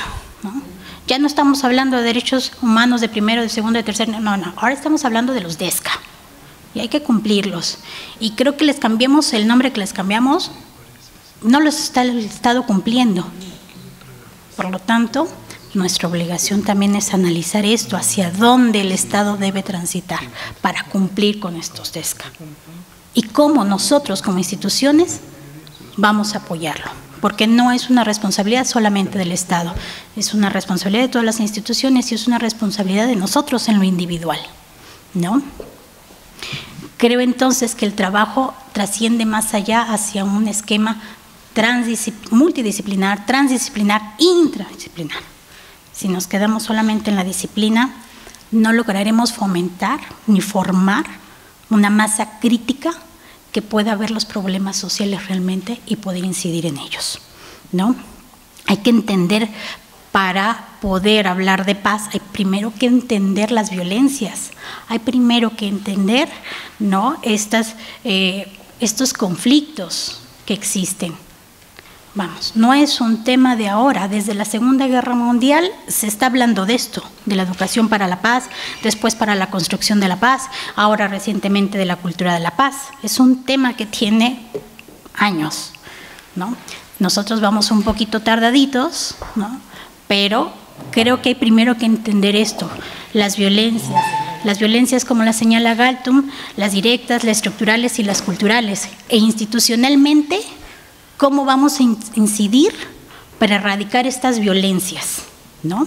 ¿Cuál es nuestro papel como instituciones de educación superior para que no existan estas violencias directas que las mismas estructuras están permitiendo y que además son violencias culturales? Hay que empezar desde ahí. Las violencias culturales.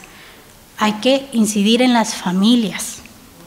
Yo sé que no es nuestro papel educar a los niños, pero lamentablemente, si no incidimos en las familias, si no nos bajamos de la educación superior para llegar ¿sí? precisamente a las familias y a la educación básica, vamos a seguir teniendo estudiantes que llegan ¿no? a licenciatura y posgrado con un esquema violento que no les va a permitir construir esta cultura de paz. Tenemos que trabajar con ellos. Ah, por lo tanto, hay que reconocer que estos esfuerzos que nosotros tenemos que estar realizando eh, tienen que tener una ruta hacia dónde queremos ir para construir esta cultura de paz. Primero creo que está ahí la discusión. Hay que hablar sobre ello, ¿no? Para que una vez que definamos esto, entonces terminar ahora sí objetivos y líneas de acción. Nosotros, eh, desde el Centro Universitario de Tonalá, cuando llegó nuestro actual rector, el maestro eh, José Alfredo Peña, en su toma de posesión, una de las acciones que señala es que quiere que el centro sea un centro, una ciudad universitaria constructor de una cultura de paz. Y entonces señala que uno de nuestros objetivos, la primera acción es crear la Cátedra de Cultura de Paz la cual se acaba de aprobar en el Centro Universitario en octubre y ahorita está para aprobarse en Consejo General Universitario. Esta cátedra de cultura de paz tiene entre los ejes no solamente la formación, sino también tiene la investigación, tiene como eje también la extensión y la difusión y además la cooperación internacional. Sin estas cuatro rutas, creemos que no podríamos trabajar. Y, por ejemplo, el próximo año lo primero que estaremos haciendo es incidir en la formación de nuestros propios cuadros. Porque efectivamente el Centro Universitario creo que tenemos especialistas en todas las áreas para incidir en estas acciones, en estos nueve ejes que ya nos establece la UNESCO, pero no tenemos especialistas constructores de paz y los especialistas que tenemos solamente se limitan a las cuestiones de justicia alternativa o de derechos humanos desde el, doctorado. No es solamente eso. Tenemos primero que formarnos y entender y comprender y el próximo año será la ruta que estaremos promoviendo. Primero una serie de eh, actividades, conferencias, seminarios para poder adentrarnos al tema de la educación y la cultura de la paz ahora con la Red Internacional de Derechos Humanos y Derecho Internacional Humanitario. Nos acompañó el doctor Juan Carlos Sainsborgo, que es decano de la Universidad para la Paz de las Naciones Unidas y que tiene un programa muy amplio, no solamente en derechos humanos, sino en construcción de paz. Y se ha puesto a nuestra disposición para, para que vengan a formarnos. Y claro, después hacer mecanismos de, de vinculación efectivamente. ¿no?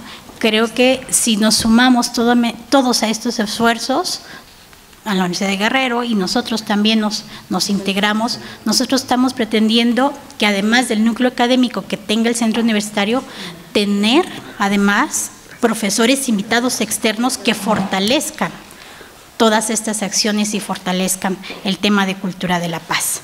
Además, tener un programa activo de cultores de paz donde estaremos formando a los propios estudiantes para que en un segundo momento vayan directamente a las comunidades a incidir, a trabajar, a formar a los niños. ¿no?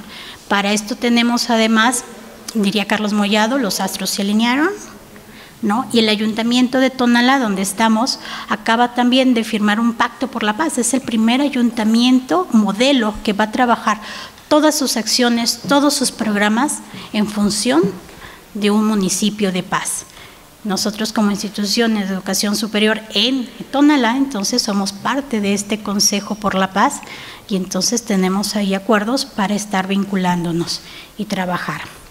Bueno, nada más quiero leerles ya para finalizar cuál es el objetivo que nos hemos puesto en la cátedra.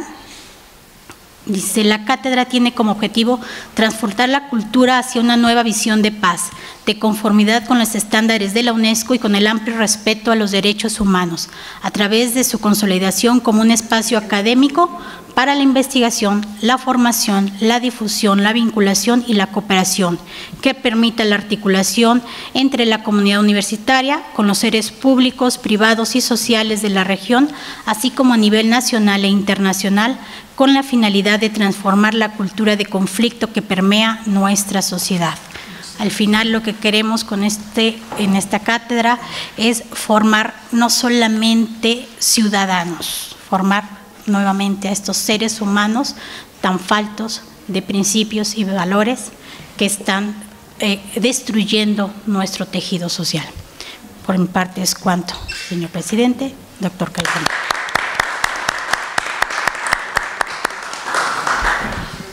Muchísimas gracias a la doctora Teresa Magnolia Preciado Rodríguez, coordinadora del doctorado en Derechos Humanos del Centro Universitario de Tonalá de la Universidad de Guadalajara. Es muy importante su reflexión y es muy importante construyendo un nuevo enfoque, efectivamente, a partir de esa reforma al artículo tercero constitucional. Y número dos, partiendo desde luego de la construcción que pudieron hacer o acopiar, mejor dicho, en 1945 los participantes de la conferencia de San Francisco previo a los trabajos que les permitió conformar ese organismo internacional que hoy en día reconocemos con las siglas de la ONU, la Organización de las Naciones Unidas. Creo que ese era el mejor momento para saborear en todo lo que significa el concepto ideológico de paz que nosotros pretendemos abarcar. Hay muchas definiciones, muchas clasificaciones, pero hay un solo concepto verdadero y único. Muchas gracias, doctora. Por supuesto que nos llevamos esto como tarea y sépase que queremos participar con esa cátedra de la cultura de la paz de Cutonalá. Así es que anótenos.